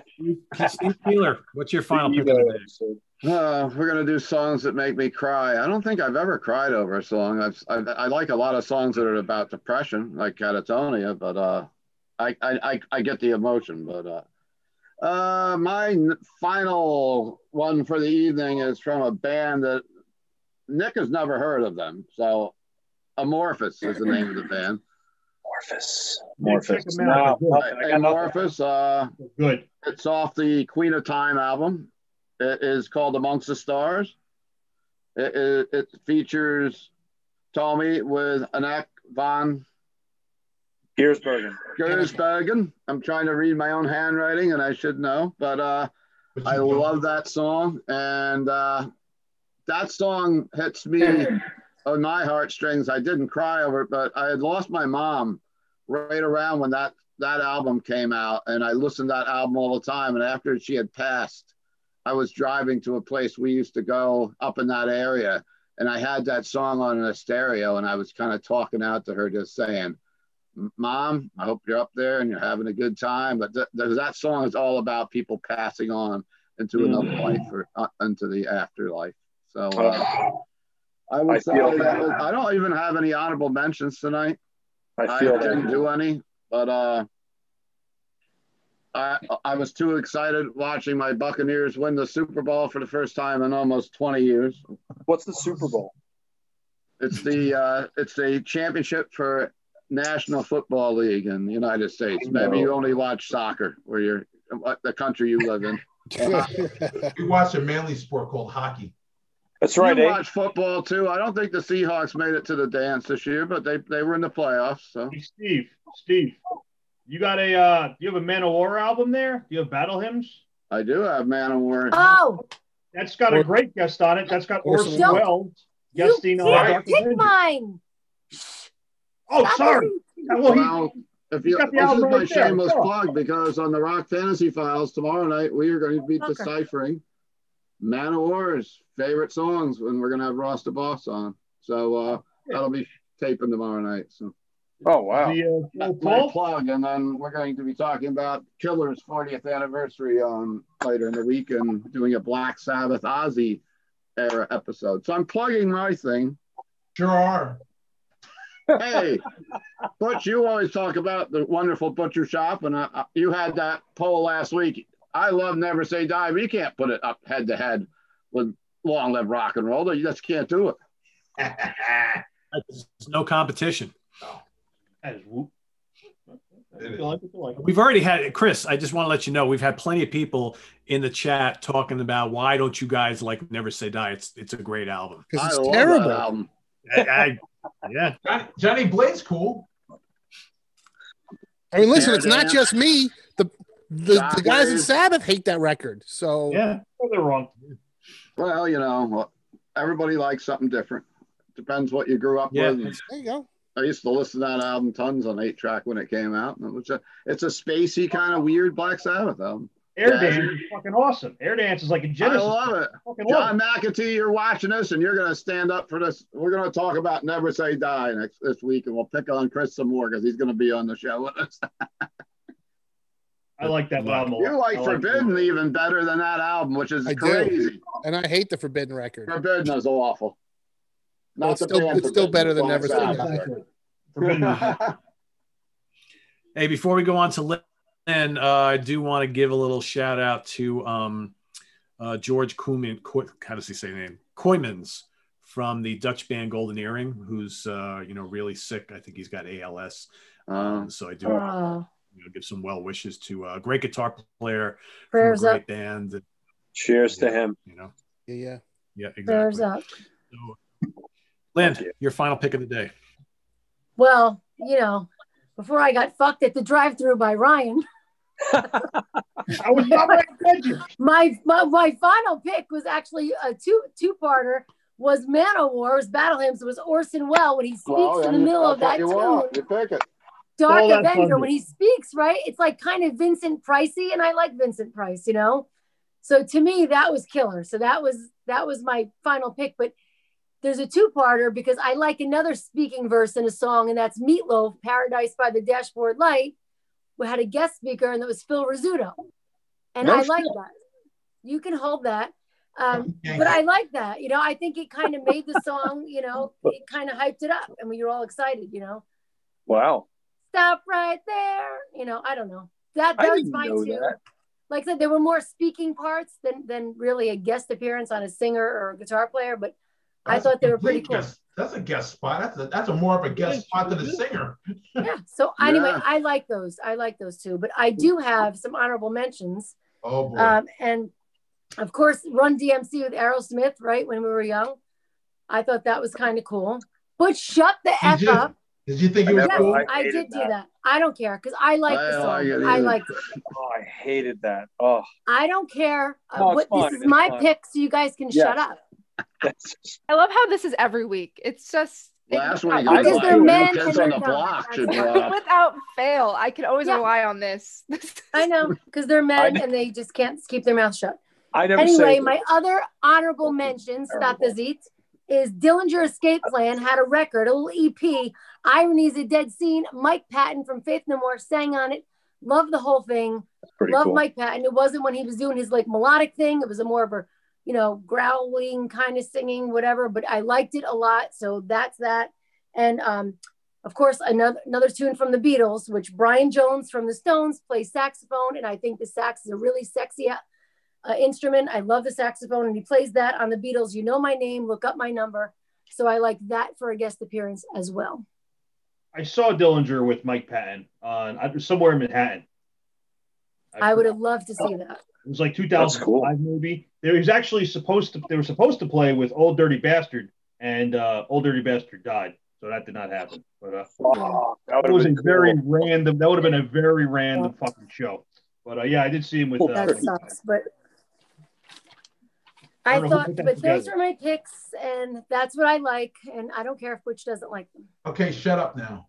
No, no, no I don't want to. Good stuff, Lynn. And I want to thank Lynn for being such a trooper, hanging out for the whole show. Yeah. I'm actually in quite a bit of pain right now, but I'm in a fucking, uh, you know, necrotic gallbladder. I got to suck it up. That band rules. Bro. But wait a minute. Hold on. Hold on. Isn't the gallbladder gone? There's pain. I'm not even going to begin to tell you where. Exactly. The I'm not even gonna gone. begin Shut to up. tell you where. Jesus You wouldn't understand. The gallbladder's gone. Shut up. Gallbladder's gone. It's not there. Stop.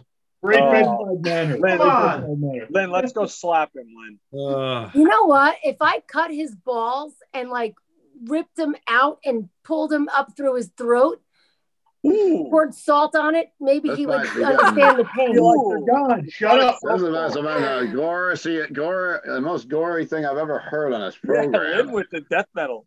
I'm sorry. I can get a whole lot rough. gorier and I can You get a whole sound lot like more a Cannibal twisted. I'm Corpse sorry. song right now, lady. You're making I'm twisted and gory. now. I apologize. See, people don't pick on me for, for picking on Lynn. She's way worse to me. Yeah, I Oh, think there's that, no that was, question. uh, my ears were like going, what the heck is coming out of that Right? mouth? No, I, I thought I've this was a family-oriented television program. I'm okay with that. Hold the balls up through what? Ah, uh, It And- Uh, painful. but, uh, you're, No. Pete, you're going to get some letters from the mail. uh, I guess this week. so, right? The YouTube I don't like the imagery. Well, then maybe balls. they should tell Butch to be nice to me and they wouldn't hear me talk like that. That's an FCC violation Yo. for sure. You can't say The that on Nick, before you we get to your last pick, uh, Yeah. we have a question for you. Oh, What are your thoughts on the black metal band Mare Cognitum? oh my goodness. My thoughts are I need to look into them more because I've heard of them. There you Never go. heard of 'em. Yeah. On to your final pick. That's Does it. that mean that's a something? good one though. Good one. Um, if I don't know them, that's a good one. Um, okay. Hi. Hello. So, Hey Nick, what's up? What does that say? It says Borknagar. Yes. And Butch, before we go on, you'd like a lot of their stuff. You actually would. You would like them. I agree yeah, with they're Nick. not- yeah, the lyric, the so I'm picking Borknagar. That's why I wore the shirt. Um, on the 2016 album, Winter Thrice, uh, they bring back an old friend, a guy who used to sing for them named Kristoffer Rygg. Um, his stage name is Garm because these guys all have stage names. Um, he's got a wonderful, clean vocal voice, and he sings on the song, the title track for Winter Thrice. He sings on Winter Thrice, and it is got to be one of the coolest uh, songs. An unbelievable performance by him, like just really a lot of feeling. Um, and the lyrics are all about you know the winter landscapes of the of the northern uh, Nordic countries and stuff like that. And um, man, he really just kicks ass, you know. And I thought maybe he was going to be back in the band, but it was just that guest spot on uh, on Winter Thrice. So need I know hear that. probably what's that, Ryan? I need to hear that because I love his vocals on Ulver. He's Yeah, and you'll love it because his vocals are much closer to, to that in this than they are to like whatever death metal he did. Um, and anyone who loves like you know sort of proggy, uh, kind of weird but but, but well played metal, man.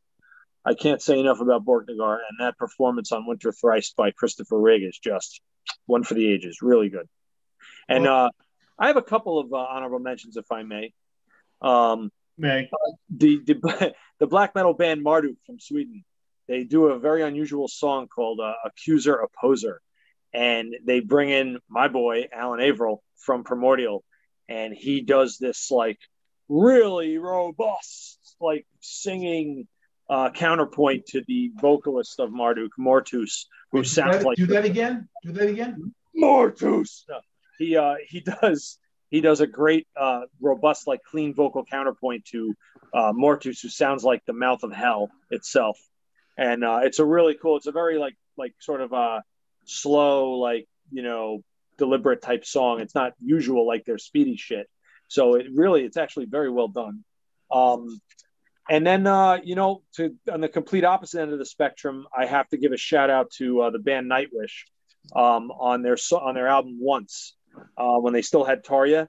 They did a song called Creek Mary's Blood, and if you remember, they they brought in a uh, Lakota Lakota Indian um, singer called John Two Hawks, and his vocal counterpart counterpoint to Tarja's uh, mezzo soprano. He, he has this like really clear, beautiful voice, and um, it's you know it's about the Trail of Tears, and it's about uh, one of the worst uh, Native American battle losses, uh, you know, that signified a, a great part of their defeat, their long, slow defeat. And um, it's, you want to talk about emotions. It's, uh, and if you look up, I think it's called End of an Era is the DVD, I, I think, where um, Nightwish performs that song in Helsinki at the Globe Arena with John Two Hawks. And he's dressed in all the Native American shit. And you want to talk about a fucking, it's like a soundtrack more than a, a heavy metal song. So I would give a shout out to that as the, as a great one. And um, Kai Hansen, uh, his quick appearance on Kai Hansen from who started Helloween.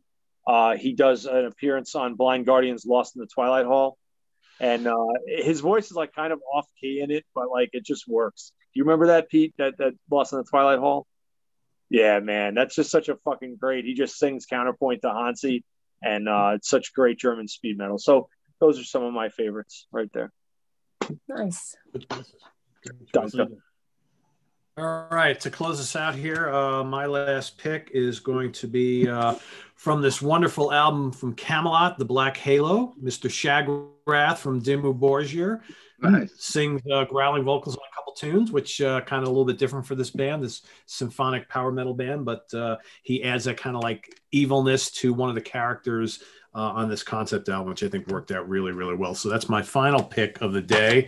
And then I got a couple honorable mentions here. Uh, the first one is going to be Mr. Andy Powell, lead guitarist from Wishbone Ash. He played the closing guitar solo on Renaissance's uh, Ashes Are Burning on the song, title track from the album. Really, really cool. Uh, how about Mr. Brian May, who plays a guest guitar solo on When Death Calls on Black Sabbath's Headless Cross album? I didn't know that. And then finally, we've got uh, Simone from Epica, who guests with Primal Fear on the New Religion album on Fighting the Darkness, which is Nice. an amazing, uh, powerful symphonic power metal track. So there you have my final picks. I do have one more question for everybody here. Um, before the pandemic hit, what is the last concert you saw before they shut everything down? Chris Allo. Oh, you got to come back to me because I, I, just, yeah, I, I just, uh, uh, Candy Cane posted it the other day, and I was like, oh fuck yeah, I forgot I went to that show. I, I went there, I took pictures, but I can't remember. Was that the chance? At the chance, Yeah, it was like the, the end Boss. of January. Wh- What was it? Ross the boss, That was in January 2020. All right, maybe that maybe that was it then. I think that was it. Ross the boss. the Man Uh, of War, the Manowar show. I Yeah. Yeah, I show. think- yeah, you were Right, was there- Yeah, I was there. I was wait. I was trying to get you Yeah, to come visit, so- but you wouldn't come in until the, the two minutes before the, the headline act. He comes in. He never Hey. comes to visit for ten minutes. Hey man, I'm famous. What, what do I want to tell you? Yeah, Yeah. just- just Steve, you want all this time. Ryan, Yeah, your, your last show the before the pandemic.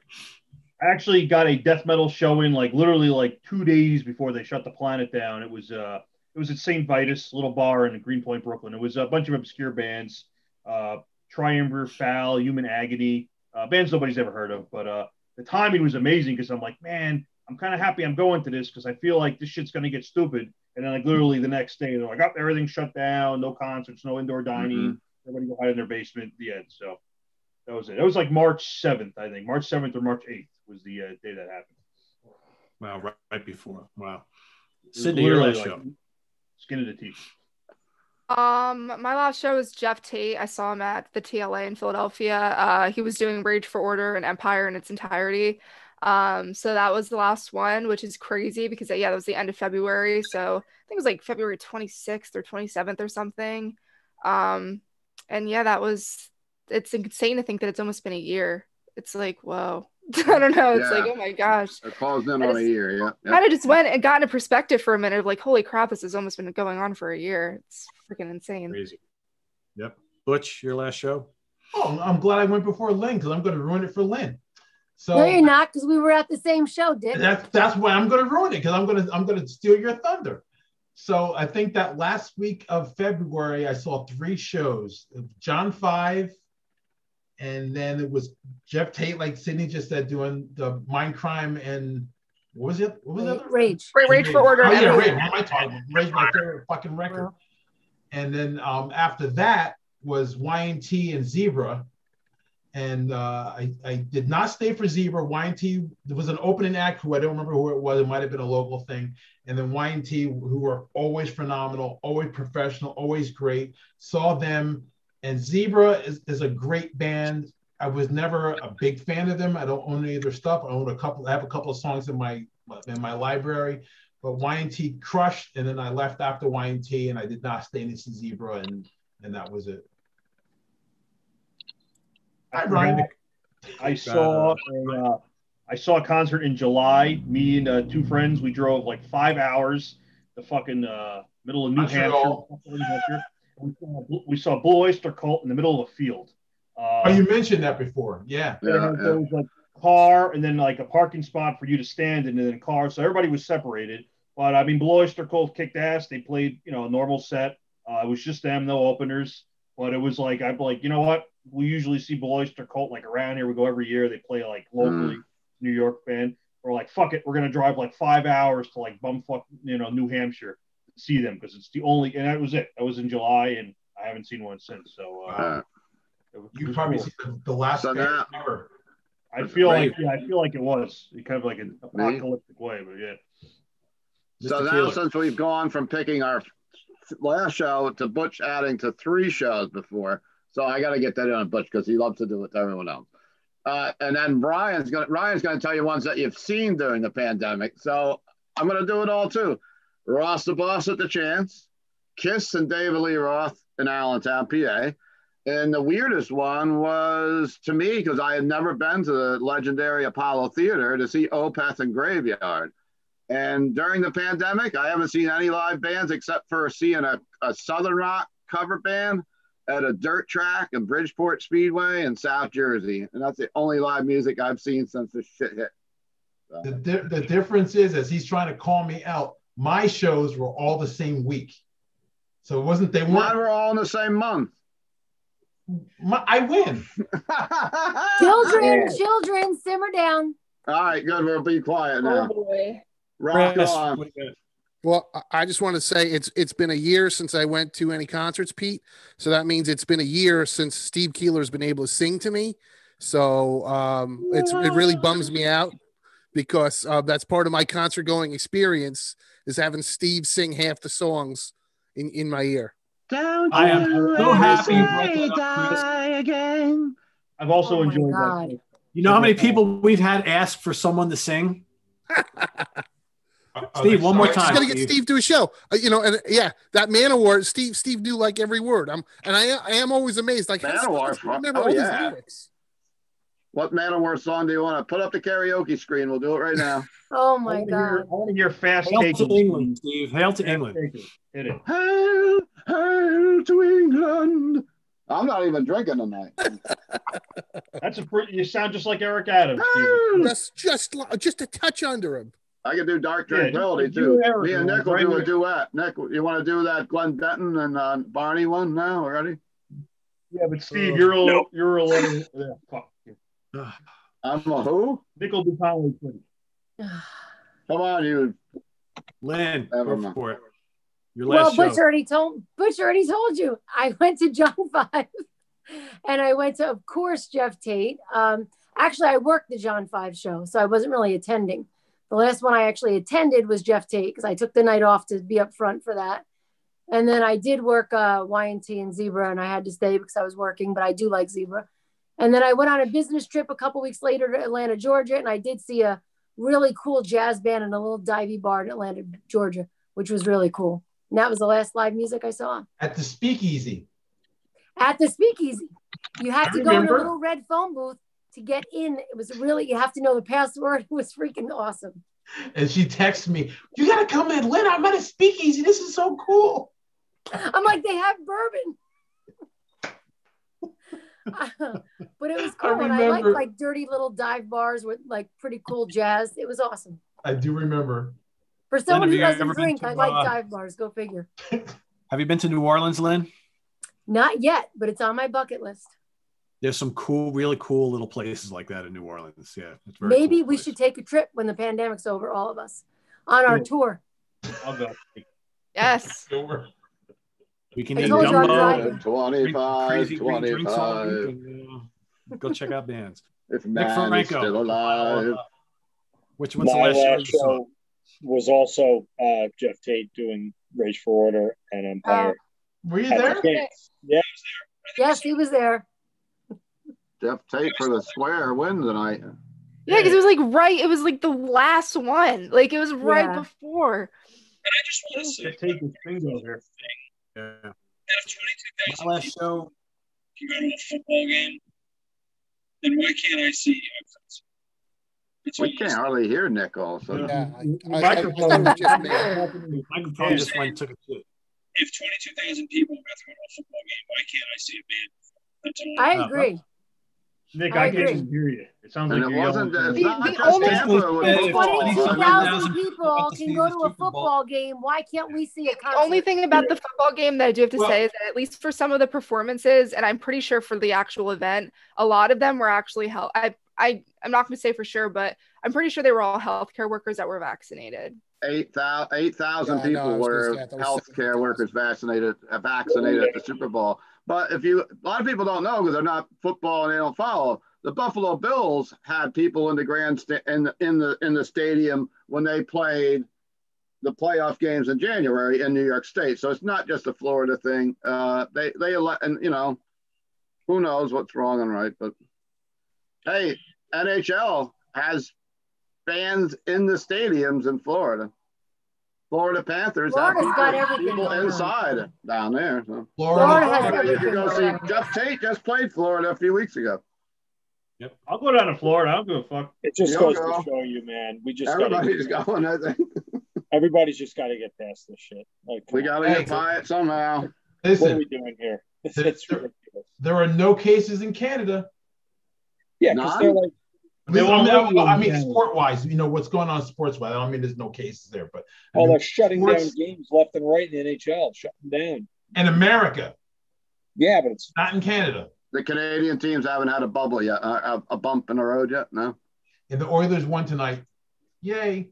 it's just ridiculous. Well, we'll see live music in the year 20. Well, everyone is saying from what I understand, from what I've heard, um, a lot of the uh, like the tour promotional people or whatever are, are saying that 2022 is when everything is is that's what they're you know they're saying. Yeah. So hopefully, I sure hope so because I have tickets to Ringo Starr.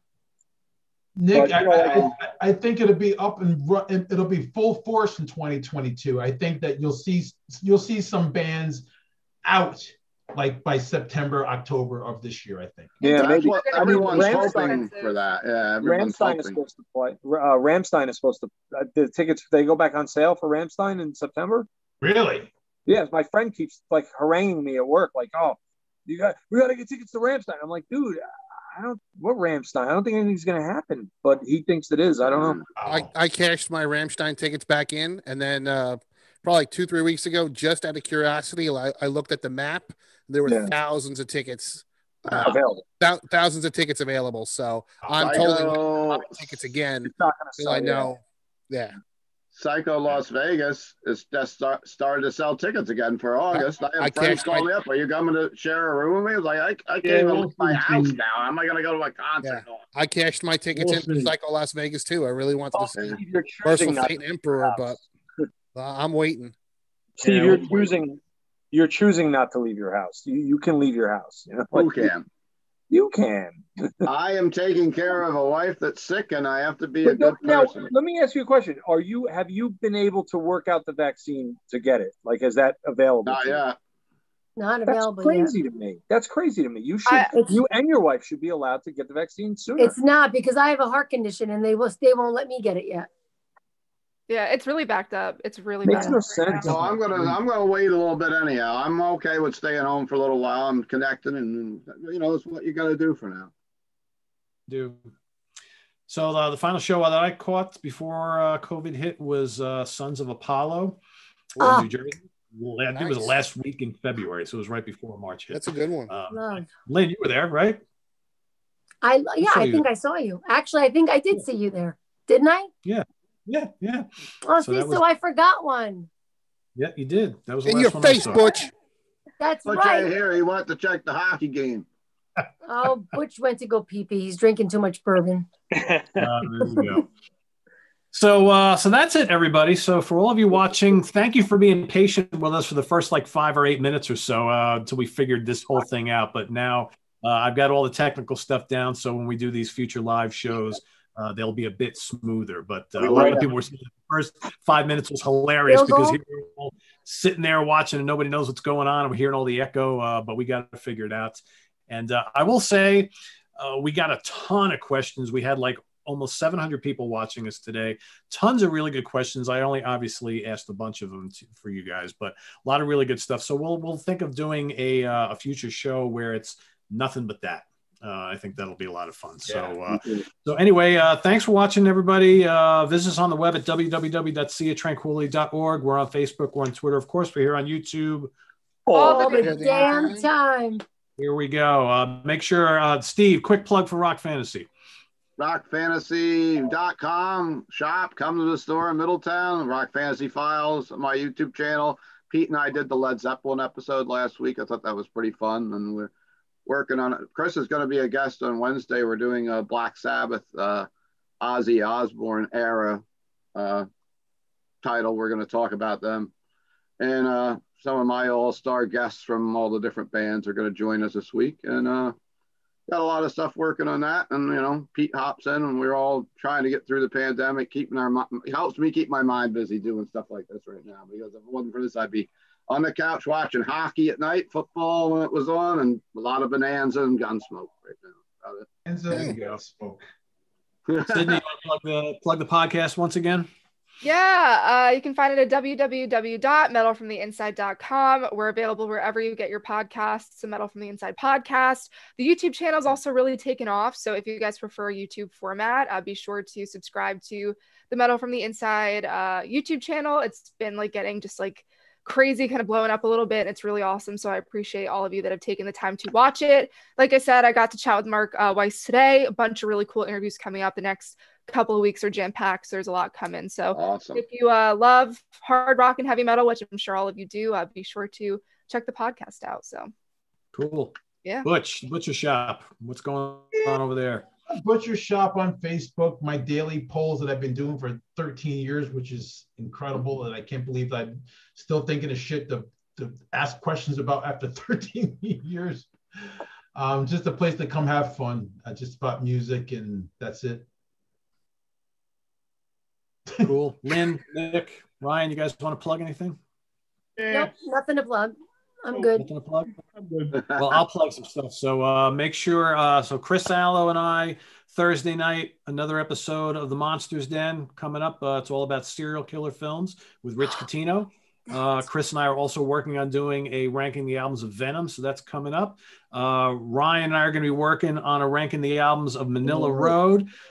Butch and I are going to be uh, doing a um, favorite one-two punch songs, two songs that come back and forth to uh, that that follow each other on album that kick ass, as well as reviewing the uh, UFO box set that's happening this week. Uh, Sydney, myself, Rich Gattino are going to be ranking the our 10 favorite albums of Yngwie Malmsteen. Uh, Nick and I got to circle back on that Borknagar album ranking, and Lynn and I uh, have to now that Lynn is is uh, feeling a little bit better. We're going to get back to doing that episode of mellow songs by really heavy bands. And uh, Steve, I didn't mention you, but we got to follow up that wonderful Testament episode we did with something else soon. So Oh we'll yeah, yeah, well. sure, for sure, man. all that sure, and a lot of other stuff happening on the channel, including uh, this particular show a week from tonight. So we'll see you guys all then. Thanks everybody for watching. We really appreciate. This was a lot of fun. Our first ever live show, and uh, drink more bourbon, right? Butch drank a half bottle on tonight. Woohoo! Keep bourboning. Keep bourboning. There we keep bourboning. There you go. So uh, for Steve, Chris, Sydney, Ryan, Butch, Nick, and Lynn, I am Pete Pardo. See you all next week. Take care. Bye. Ooh.